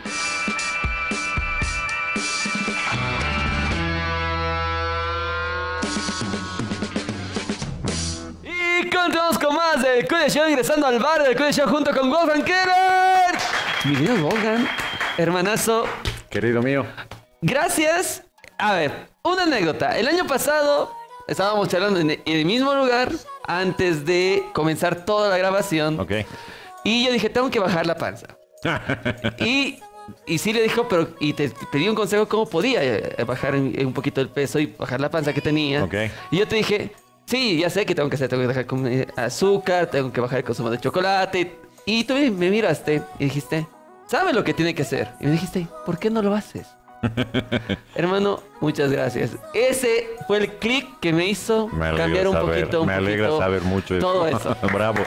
Y me alegro por ti que hagas ese cambio, además que sea, que sea amistoso, que sea amigable, que sea motivador y que no sea un sufrimiento, ¿no? Sí, hay que ser paulatinamente. Es, Sí, sí, sí. es- no hay que hacerlo de golpe, sino yo fui bajando consumo de azúcar, consumo de masas, poco a poco, poco a poco, hasta que ya. Sí, tu, tu cuerpo se tiene que ir habituando, además que tienes mucha, estás como que muy acostumbrado ya, automáticamente agarras los alimentos Sí. y, y no sabes por qué, ¿no? Entonces hay que nomás tomar conciencia de lo que estás haciendo. Hay que tomar conciencia de lo que estás comiendo también. Y que, seas, y, y que lo hagas en un proceso que te llene, que, que lo hagas bien, buena onda, que veas procesos paulatinos y que te guste, ¿no? Y que no sea un sufrimiento. Exactamente lo principal. Pero hoy tenemos frutita. A ver, Tenemos, mi- tenemos piña y tenemos manzana. Ujú. Y vamos a preparar un juguito, ¿te parece? bueno, ¿quién ha escogido el menú? Eh, yo. yo levanto la mano, soy culpable del menú. Porque, a ver, dime, ¿qué, ¿en qué he fallado? Bueno, se supone que solo puedes mezclar dulces con dulces. No puedes mezclar, por ejemplo, ácidas con dulces. Ah, ya. O, eh, ¿me entiendes? Es un poco un... Yo, yo dije un experimento, por ahí tal vez funcione. O sea, pues, sabe delicioso. Pero si volvemos a las épocas, llamémoslos ancestrales, como Ya. siempre mencionó, ¿tú conoces algún árbol que dé manzana y piña? No. No, no es cierto. Entonces, técnicamente, pues consumes lo que hay en el árbol, ¿no? Claro. Eh, es muy raro que tengas un árbol de piña y al lado, al lado tengas, no sé, pues un viñedo. No hay esas cosas. Pero, una vez más, la cuestión de, eh, de- de- del paladar, de, de esa, entre comillas, evolución alimenticia que tenemos, nos lleva a hacer mezclas deliciosas, pero no necesariamente las más saludables, ¿no? Ah, entonces no sería saludable mezclar, digamos, piña O con sea, manzana? lo- o sea, puedes mezclar dulces, frutas dulces.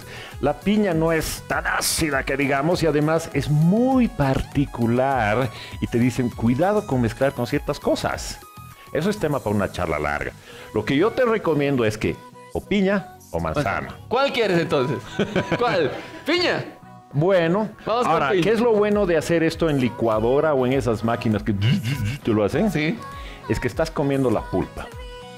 Porque si tú te haces un zumo de piña, te puedes tomar el, el jugo de una piña entera, pero no te comerías la piña entera. No.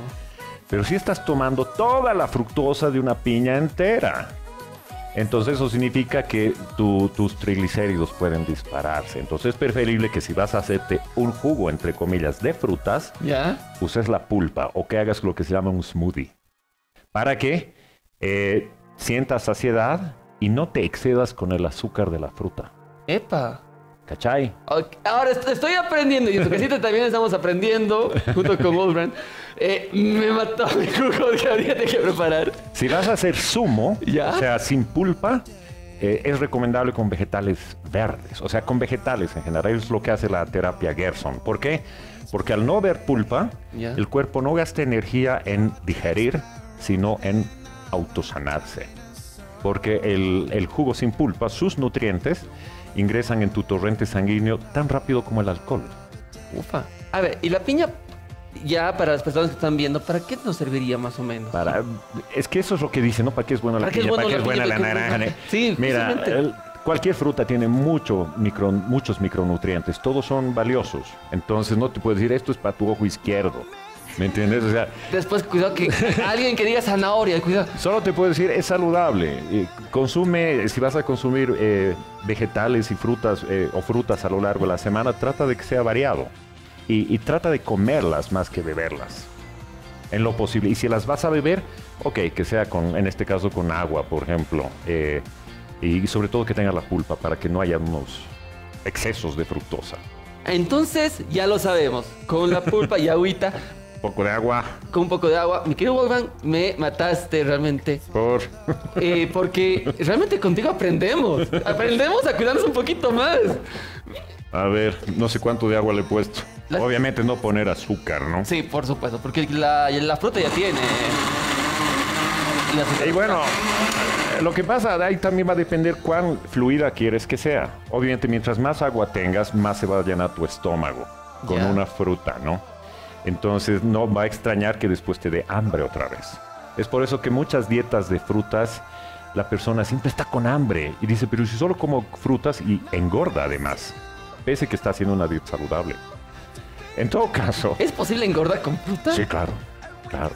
Ya te digo, hay tanta contradicción en el tema de nutrición, en el tema de salud, donde ya no sabes a quién creer. Entonces yo trato de ir por la lógica, o sea, la lógica básica de, de- de hace milenios, ¿no? Donde si había un árbol de manzana, pues era época de manzana y solo en esa época comías manzana. ¿Me entiendes? Claro. Pero ya te digo, eh, el comercio, la industria, la economía ha hecho que todo se deforme, ¿no? Que, que te hagan inclusive fruta transgénica para que madure, no sé, en el proceso de llegar a tu casa, que crezca más rápido en condiciones distintas de ambiente, bla, bla, bla. Ufa. Es, es, ya te Es digo, todo un, es todo un mundo. es para 12 años de colegio. Literal, dos años de colegio. Sí. Ah, ¿Y tú qué recomiendas, Diego? ¿Hasta qué punto, digamos, ha de ser licuarlo? ¿Cómo? ¿Hasta qué punto licuarlo?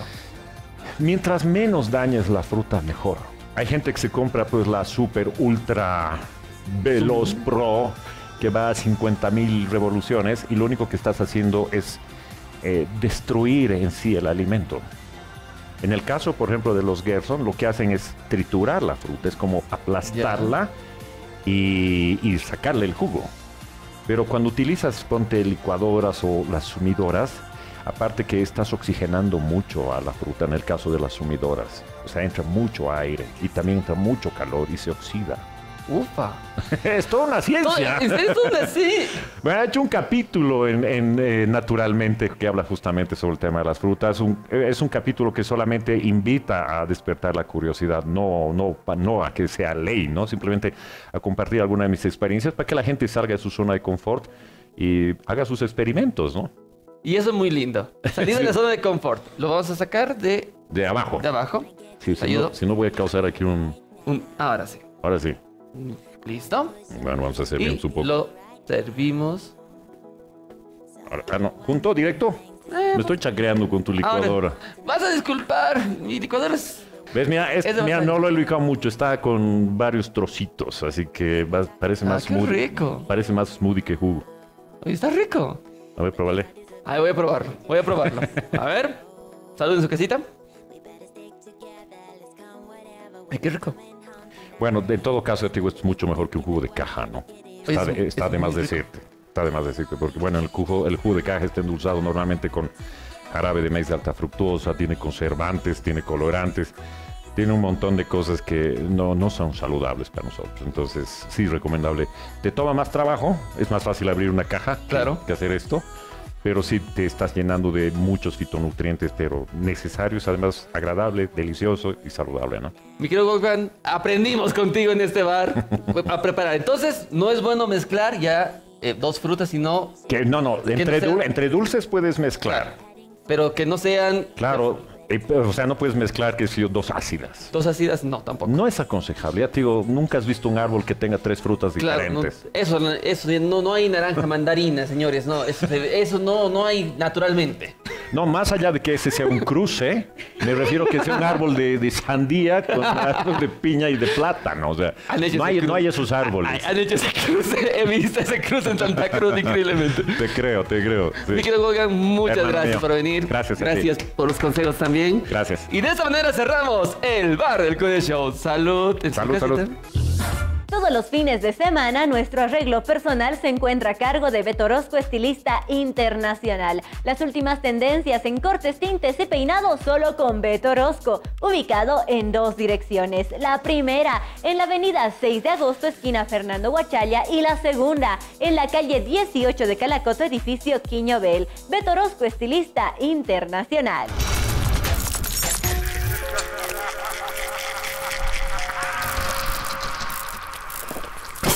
Y continuamos con más del Q de Show ingresando al sector realidad perdida. Hoy vamos a hablar de la corporación Monsanto.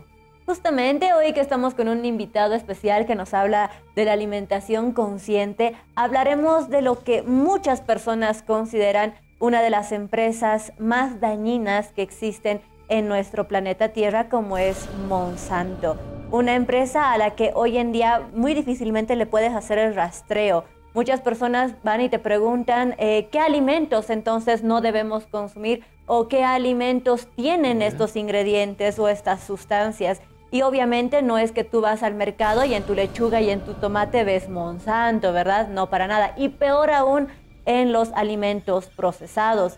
Eh, muchas industrias a nivel mundial tienen muchos ingredientes de Monsanto y por mencionar algunas populares en nuestro país, podemos mencionar a Quaker de la avena instantánea, podemos mencionar a gaseosas como Coca-Cola, Pepsi y podemos mencionar a las papas fritas, a las Pringles, ¿verdad? Y también a la mayonesa Hellmann's, entre otras.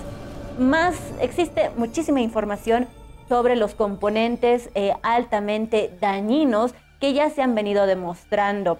Pero como en muchos temas de realidad perdida, hoy solamente hablaremos de una pequeña parte y seguramente tendremos en las próximas semanas más información sobre Monsanto porque es imposible tratar todo esto en un solo programa.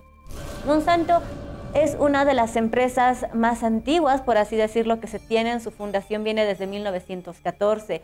Usualmente cuando nosotros pensamos en semillas, ¿verdad? Pensamos en, pues, en un campo verde, ¿verdad? Así súper grande, Súper lindo. lindo, como que el paraíso. Es increíble que hoy en día cuando uno piensa en pesticidas, semillas o transgénicos, directamente se le aparece la imagen de Monsanto. ¿Qué te puedo decir? Esta empresa eh, tiene muchos matices. Hay personas, así como la odian, hay un montón de personas que la defienden. Pero hablemos en este aspecto solamente de lo negativo que podría tener Monsanto. Monsanto, según lo que muchas personas dicen, es la culpable de la disminución de cantidad de alimento en el planeta Tierra. Tú sabes que existe una crisis alimentaria y muchas personas sostienen que no es porque, digamos, porque la naturaleza ya no esté pudiendo renovarse, sino porque detrás de todo esto aparece Monsanto comprando todas las semillas de todos los productos naturales habidos y por haber y generando ellos mismos una cadena. Es decir, tú tienes tu semilla, yo como Monsanto te la compro, o sea, te la compro absolutamente toda, toda la del mercado, y luego esta semilla la modifico genéticamente para que posteriormente yo te pueda vender un pesticida, viéndote que es para cuidar tus cultivos, pero que este pesticida solamente sirve para cierto tipo de plaga si es que tú utilizas mi semilla genéticamente modificada. ¿Entiendes más o menos? Entonces, entonces Monsanto me compra eh, las semillas que yo produzco. La natural. La, la natural. Entran al laboratorio, la alteran genéticamente. Y luego yo voy contigo y te digo, ¿sabes qué? Esta plaga ha asaltado tu cosecha. Entonces yo tengo el pesticida que Ya. tú tienes que utilizar, pero puede que no te resulte. Entonces, ¿por qué mejor no me compras esta otra semilla que ya producí, que es mucho más fuerte y que te va a aguantar el pesticida? Wow, entonces es un control completo de la Es alimentación. un control y completo, porque no solamente hacen esto a los pequeños productores, sino em, compran compañías completas de producción de semillas. Paulatinamente asumo que viviremos en un mundo en el que toda, en el que todas las semillas pues tengan alguna modificación genética. Muy aparte de esto, otro de los matices que tiene Monsanto es que también una división de esto, porque no es que solamente se dediquen a las semillas y a los transgénicos.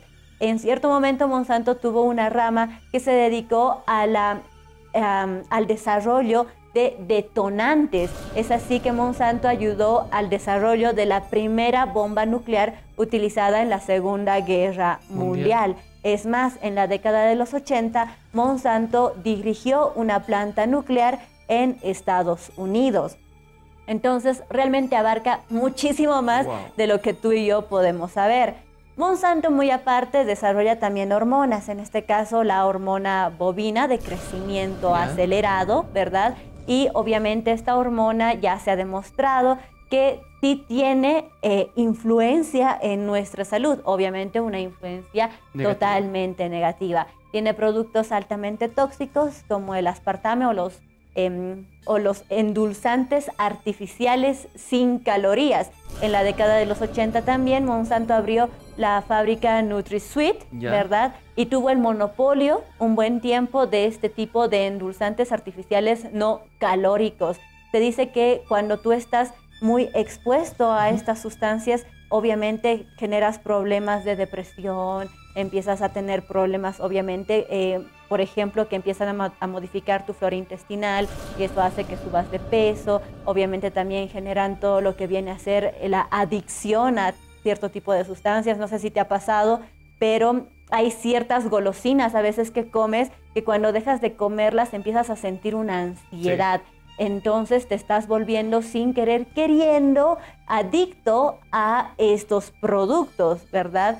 Entonces es como que realmente cuando yo lo empecé a estudiar pensé que iba a ser algo tal vez muy chiquitito, pero incluso ahora no sé bien por dónde irme porque realmente todo se ramifica de manera grande. Pero no solamente esto, Monsanto, muy aparte de haber participado en la detonación de la primera bomba nuclear, participó de manera demasiado activa y demasiado aberrante en otro tipo de guerras, como la guerra de Vietnam. Una de las guerras que más duración ha tenido, teniendo una duración completa de 20 años, en la que nueve participó Estados Unidos junto a Monsanto y otras 35 empresas que desarrollan eh, diferentes pesticidas a través de los famosos gases arcoíris gases de color azul, gas de color blanco y posteriormente el más tóxico de todos, que es el gas naranja. Y justamente después de la pausa estaremos hablando un poquito más de este pequeño capítulo de lo que es la guerra de Vietnam y por otro lado Estados Unidos junto a Monsanto. Pausa y volvemos con más de realidad perdida.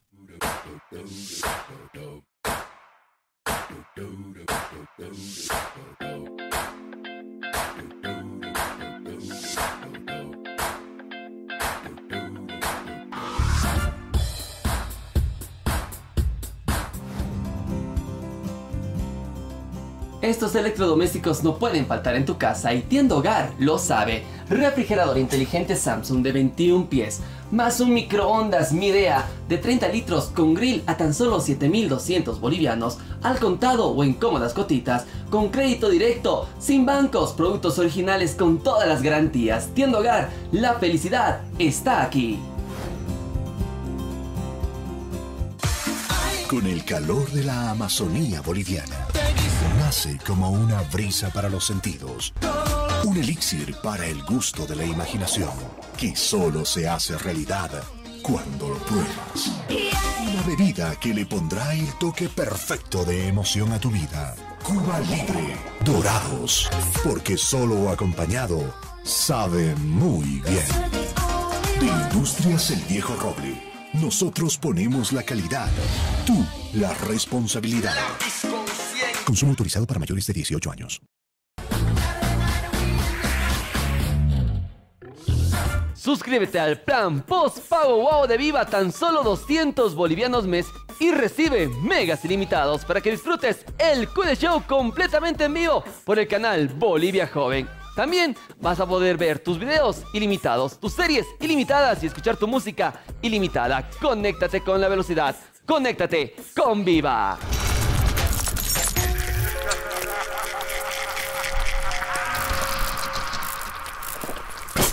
Y continuamos con más de realidad perdida y seguimos hablando de la corporación Monsanto. Nos quedamos en cómo influyó en la guerra de Vietnam Monsanto. Exactamente. Eh, a ver, si hablamos un poquito de la guerra de Vietnam, muchos saben que ha pasado, obviamente, pero no saben cómo ha sucedido.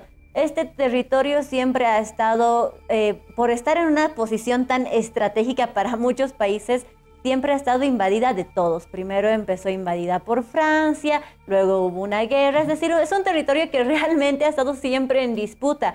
Pero si hablamos de la guerra de Vietnam, todo comienza cuando ese territorio estuvo dividido en dos, el norte y el sur. El norte con una tendencia netamente comunista, apoyada por China, apoyada por Rusia, y el sur eh, que era capitalista, apoyada por Estados Unidos típico que el, bueno, no típico, pero como en una guerra sucede, siempre un lado quiere eh, que el otro sea de su bando. En esta oportunidad, la parte norte comunista quería unir a todo Vietnam. Es por eso que empezaron a invadir a Vietnam del Sur. Y ahí es cuando todo estalla. Esta guerra es, según lo que dicen, eh, el mismo orgullo vietnamita, es una guerra en la que eh, no los han podido derrotar. Acá existe también una crisis bien interesante. ¿Por qué? Porque cuando Estados Unidos va a una guerra y Estados Unidos te gana, usualmente Estados Unidos pide compensación. Ah, ya, entonces yo he gastado en esto, en esto, necesito mi dinero, de vuelta, ¿verdad? Pero ¿qué es lo que pasa cuando Estados Unidos pierde una guerra? ¿Acaso Estados Unidos paga? ¿Tú has escuchado alguna vez? Creo que no pagó por Vietnam. no, para nada. O sea, de hecho, en ningún país en el que tal vez haya perdido nunca ha sucedido cosa similar. ¿Qué es lo que sucede acá? Eh, los vietnamitas eh, estaban apoyados, los del norte, por los rusos. Entonces los rusos les empezaron a dar, eh, les empezaron a dar armamento. Es así que los vietnamitas como tenían un control, una arboleda increíble, una especie de selva con ríos, empezaron a poder eh, camuflar tanto a sus hombres como a su armamento de forma prácticamente perfecta. Es así que el gobierno de Estados Unidos tuvo muchísimas bajas. Entonces, Estados Unidos no se iba a quedar atrás.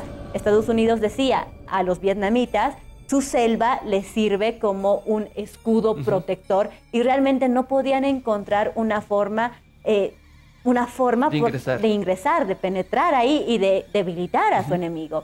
Entonces, ¿qué dijeron? Les quitemos el escudo, destruyamos todo el bosque que existe. En los nueve años en los que Estados Unidos intervino, se calcula aproximadamente, según varios datos, que Estados Unidos roció con agente naranja más de 80 millones de litros. ¿Por qué? Porque la agente naranja básicamente lo tenían que rociar todos los días. Testigos que estuvieron tanto del lado vietnamita como del lado de Estados Unidos veían que este agente naranja podía matar a un árbol increíblemente inmenso en menos de un día. Y obviamente no es que van a decir, cuidado personas, vamos a lanzar el agente naranja, para nada. lo lanzaban sobre los ríos, lo lanzaban sobre los cultivos. ¿Por qué? Porque lo que querían también las personas de Estados Unidos era desabastecerlos totalmente de su comida. Entonces lanzaban eh, tanto el agente naranja como un agente azul también, por eso solo los conoce como gases arcoíris, sobre los, sus sembradíos de arroz. Existe el testimonio de un cura que, cuenta justamente cómo él un día sale de, de, su iglesia y ve cómo la gente veía hacia el cielo y este polvo, por así decirlo, les caía y ellos empezaban a rascarse y empezaban a quererse lavar todo esto. Lo que ellos no sabían es que este agente naranja estaba compuesto por dos toxinas muy fuertes que hoy en día ya solas, solo se las puede eliminar a través de la combustión, es decir, a través de la quema, de la incineración. Es decir, si ellos se lavaban, ni modo, ya estaban ahí contaminados. ¿Qué es lo peligroso de todo esto? Monsanto en su momento dijo que esto era un herbicida común, o sea que las toxinas que tenían supuestamente eran eh, no contaminantes para los seres humanos, que no iba a suceder nada. Pero al procesar esto con tanta rapidez, hicieron una arma letal, porque uno de los compuestos lo sobrecalentaron de manera tal que una toxina mortal, comúnmente llamada como la toxina más letal que ha hecho el humano en su historia, estaba potenciada de 20 a 55 veces el grado de lo recomendable. O sea, realmente era súper tóxico personas que trabajan en Vietnam empiezan a hacer un cálculo y según lo que se tiene a inicios de la década de, de los 60, empezaron, eh, que decirte, a rociar este agente. Entonces, en las estadísticas dicen que las deformaciones o que los niños que nacían mal eran realmente mínimos. Incluso en la religión de ellos, que tu hijo nazca con alguna deformidad o sin todas sus aptitudes, era como un castigo de los dioses que decían que tú o tus antepasados habían hecho algo mal para que tu hijo nazca así. Después del año 65, después de 1965, este tipo de casos de niños que nacieron con malformaciones se incrementaron hasta en un 500%. Hasta hoy en día se dice que han nacido más de medio millón de niños con distintas malformaciones y obviamente todo esto solo tiene una razón si es que ponemos en contexto el agente naranja. En Estados Unidos, eh, obviamente, porque no solamente los vietnamitas estaban eh, al alcance de la gente, sino también los estadounidenses, los que estaban preparando. Los estadounidenses dicen que todos aquellos, todos aquellos soldados que no querían ir al campo de batalla como tal, los em, de cierta manera le decían, perfecto, no quieres ir al campo de batalla, entonces tú manejas esto, ¿no? Y lo empiezas a rociar. Entonces ellos decían o sea, a ellos les mintieron. Un soldado dice que este herbicida que venía en turriles naranjas, digamos con una franja naranja, por eso el nombre, le dijeron, mira, esto es como que un matamosquito, ¿sabes? Nosotros como esto es selva, no queremos que la malaria se propague, entonces lo estamos rociando para que maten a los mosquitos y todo bien. Entonces no le dijeron que era tóxico, no le dijeron que era un herbicida y obviamente lo manipularon. Años después, después de la guerra, cuando ellos volvieron a casa, pues le sucedió exactamente lo mismo. Sus hijos nacieron con malformaciones, no tan crueles como los niños de Vietnam, porque si tú pones justamente fotografías de cómo nacieron los hijos de los soldados estadounidenses y cómo nacieron los niños de Vietnam, pues con los de Vietnam te dan ganas de llorar. Existe un museo justamente en Vietnam de todo lo que sucedió tras la guerra. Antes Vietnam no quería que el mundo se enterara de todo lo que estaba sucediendo ahí, pero después de más de 50 años todavía siguen que decirte los efectos de la gente naranja. Y tú ves como hay niños, por, eh, por, por citar el menor de los casos, ya como hay niños con cabezas que tienen forma de cono, es decir, así con un piquito acá, como hay niños que se desarrollan con una cabeza tres veces del tamaño normal, niños que nacen o sin una extremidad o sin que las extremidades logren desarrollarse por completo, eh, como muchos nacen con retraso mental y obviamente es cruel. El gobierno de Estados Unidos em, tuvo una demanda de los soldados, ya. que posteriormente se dieron cuenta que fueron víctimas de la gente naranja estos soldados em, pusieron su demanda contra Monsanto y el juez dijo, esto está en lo correcto. Monsanto le pagó, no me acuerdo bien la cifra, pero fueron, si no me equivoco, 90 millones de dólares a todos los soldados excombatientes de Vietnam. Ahora, tú dirás, ¿y qué pasa, con los, vietnamitas? Los, las personas de Vietnam también pusieron una demanda contra Monsanto en Nueva York. Increíblemente es el mismo juez el que ha recibido esta demanda, pero tomó un fallo totalmente distinto.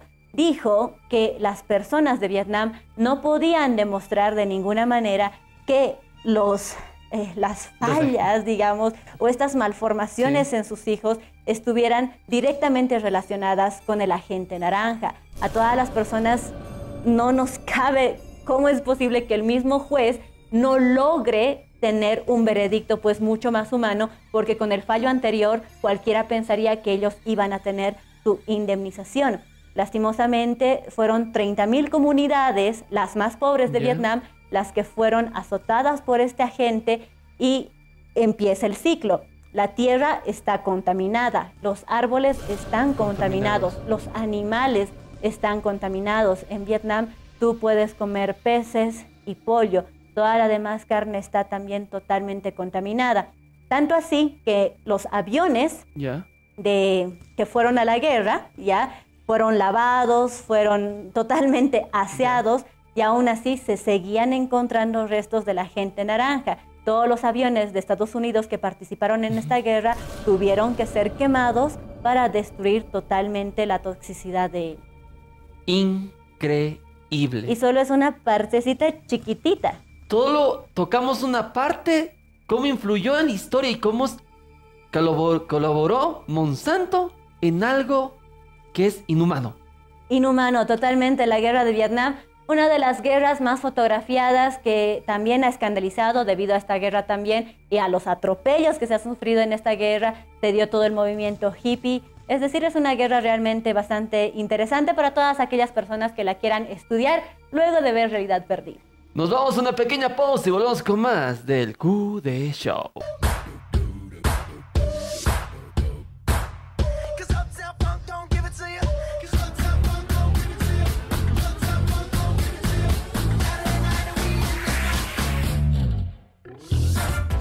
puedes hablar con los humanos y yo con los Pokémon.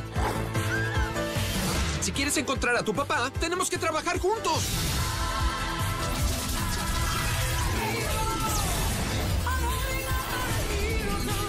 Muy inesperados.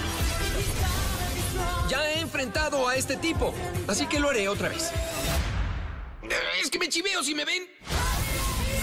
Pokémon Detective Pikachu. Solo en el monje campero. ¿Una llama rapera? Internet te sorprende ilimitado. Por eso, navega ilimitado. Cámbiate el plan post-pago WOW. Por solo 200 bolivianos mensuales, recibe megas ilimitados. Para que tus videos sean ilimitados, tus series sean ilimitadas y tu música sea ilimitada. Plan post-pago WOW. Megas ilimitados, WOW ilimitados. Conéctate con la velocidad. Conéctate con Viva. Esta empresa está regulada y fiscalizada por la ATT.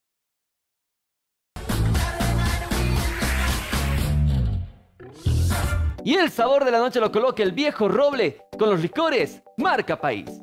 El licor de coca, el licor de quinoa y el licor de maca, súper deliciosos.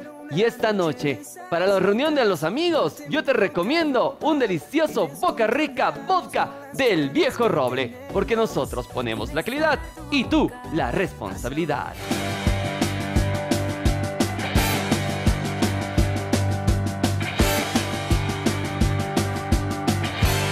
¿Cuál es tu nombre?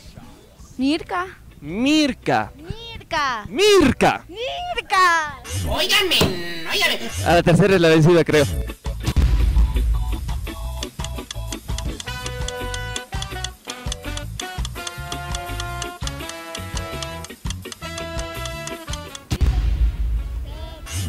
Nombre, Verónica. Bien.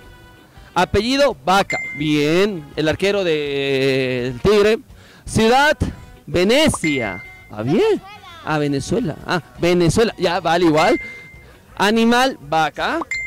Y cosa, bas. ¿Cómo es posible? Tranquilo, tranquilo, ya pasó, ya pasó. Por equivocación ortográfica es pastelazo. Gracias, vamos a ver quién más se gana en este desafío a tu conductor. ¿Cuál es su nombre? Naima. Naima.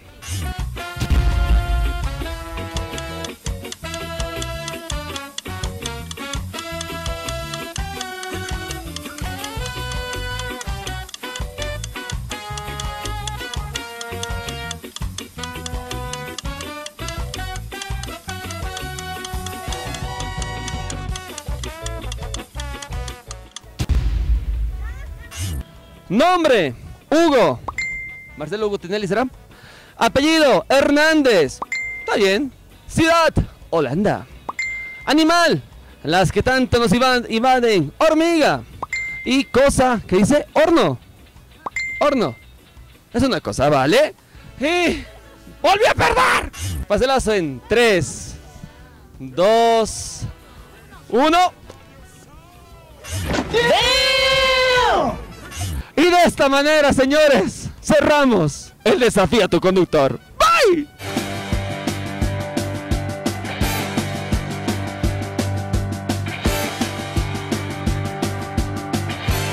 Después de este programa, Buenas. señores, nosotros ya hemos decidido hacer nuestro huerto acá en la productora. Exacto. Sí, ¿Por qué? vamos a sembrar tomate, lechuga, ¿qué Ajo. más? Ajo. Ajo. A Freddy le encanta No, el ajo. no. Le encanta, aunque no, aunque es vampiro, no, te olvides, No, cuidado la, que lo que la- la verdad, la verdad es que yo no como ni ajo ni cebolla. ¿Por qué si es tan saludable? ¿No has escuchado a nuestro querido Volvan? Es Sí, súper saludable. Lo, sé, pero De paso, para que ustedes sepan, como regalo, Volvan nos trajo un ajo negro. Mexicano. Sí. Mexicano. Ujú, Es muy saludable. Sí, es muy delicioso. los aztecas lo hicieron hace 5000 años y ya no tiene sabor a ajo. no, mentira, un abrazo. ¡Vamos! Ajo momificado. Un abrazo a Wolfan y un saludo a un programa. Muchísimas gracias. No se olviden que estamos en YouTube. Pónganse, síganse rumbo a los 20 mil suscriptores. Qué orgullo, señores. Exacto, y próximamente nuestra transmisión en vivo celebrando nuestros 40 mil. En Facebook, ¿no? Exactamente, en Facebook 40.000, esta semana posiblemente ya vamos a transmitirlo, pero mañana no te puedes perder la versión extendida de una entrevista que tuvimos la anterior semana con un gigante de la cumbia argentina. Muchas canciones, conté más o menos 20 canciones que cantó. 20 Sí, canciones. 20 yo te canciones que dije, hizo un conciertazo acá. Y no nos cobró, por suerte. Un abrazo. Todavía. Ya, ya saben, esto no se lo pueden perder. Pues la versión extendida mañana en YouTube. Bueno, hoy en YouTube. Hoy en YouTube, a partir de las 9 de la noche, por Bolivia Joven, nos tenemos que despedir, señores. Si te gustó este programa, recomiéndalo. Si no, también porque esto es el QD Show. Y hasta el siguiente fin de semana. Chao. Bye.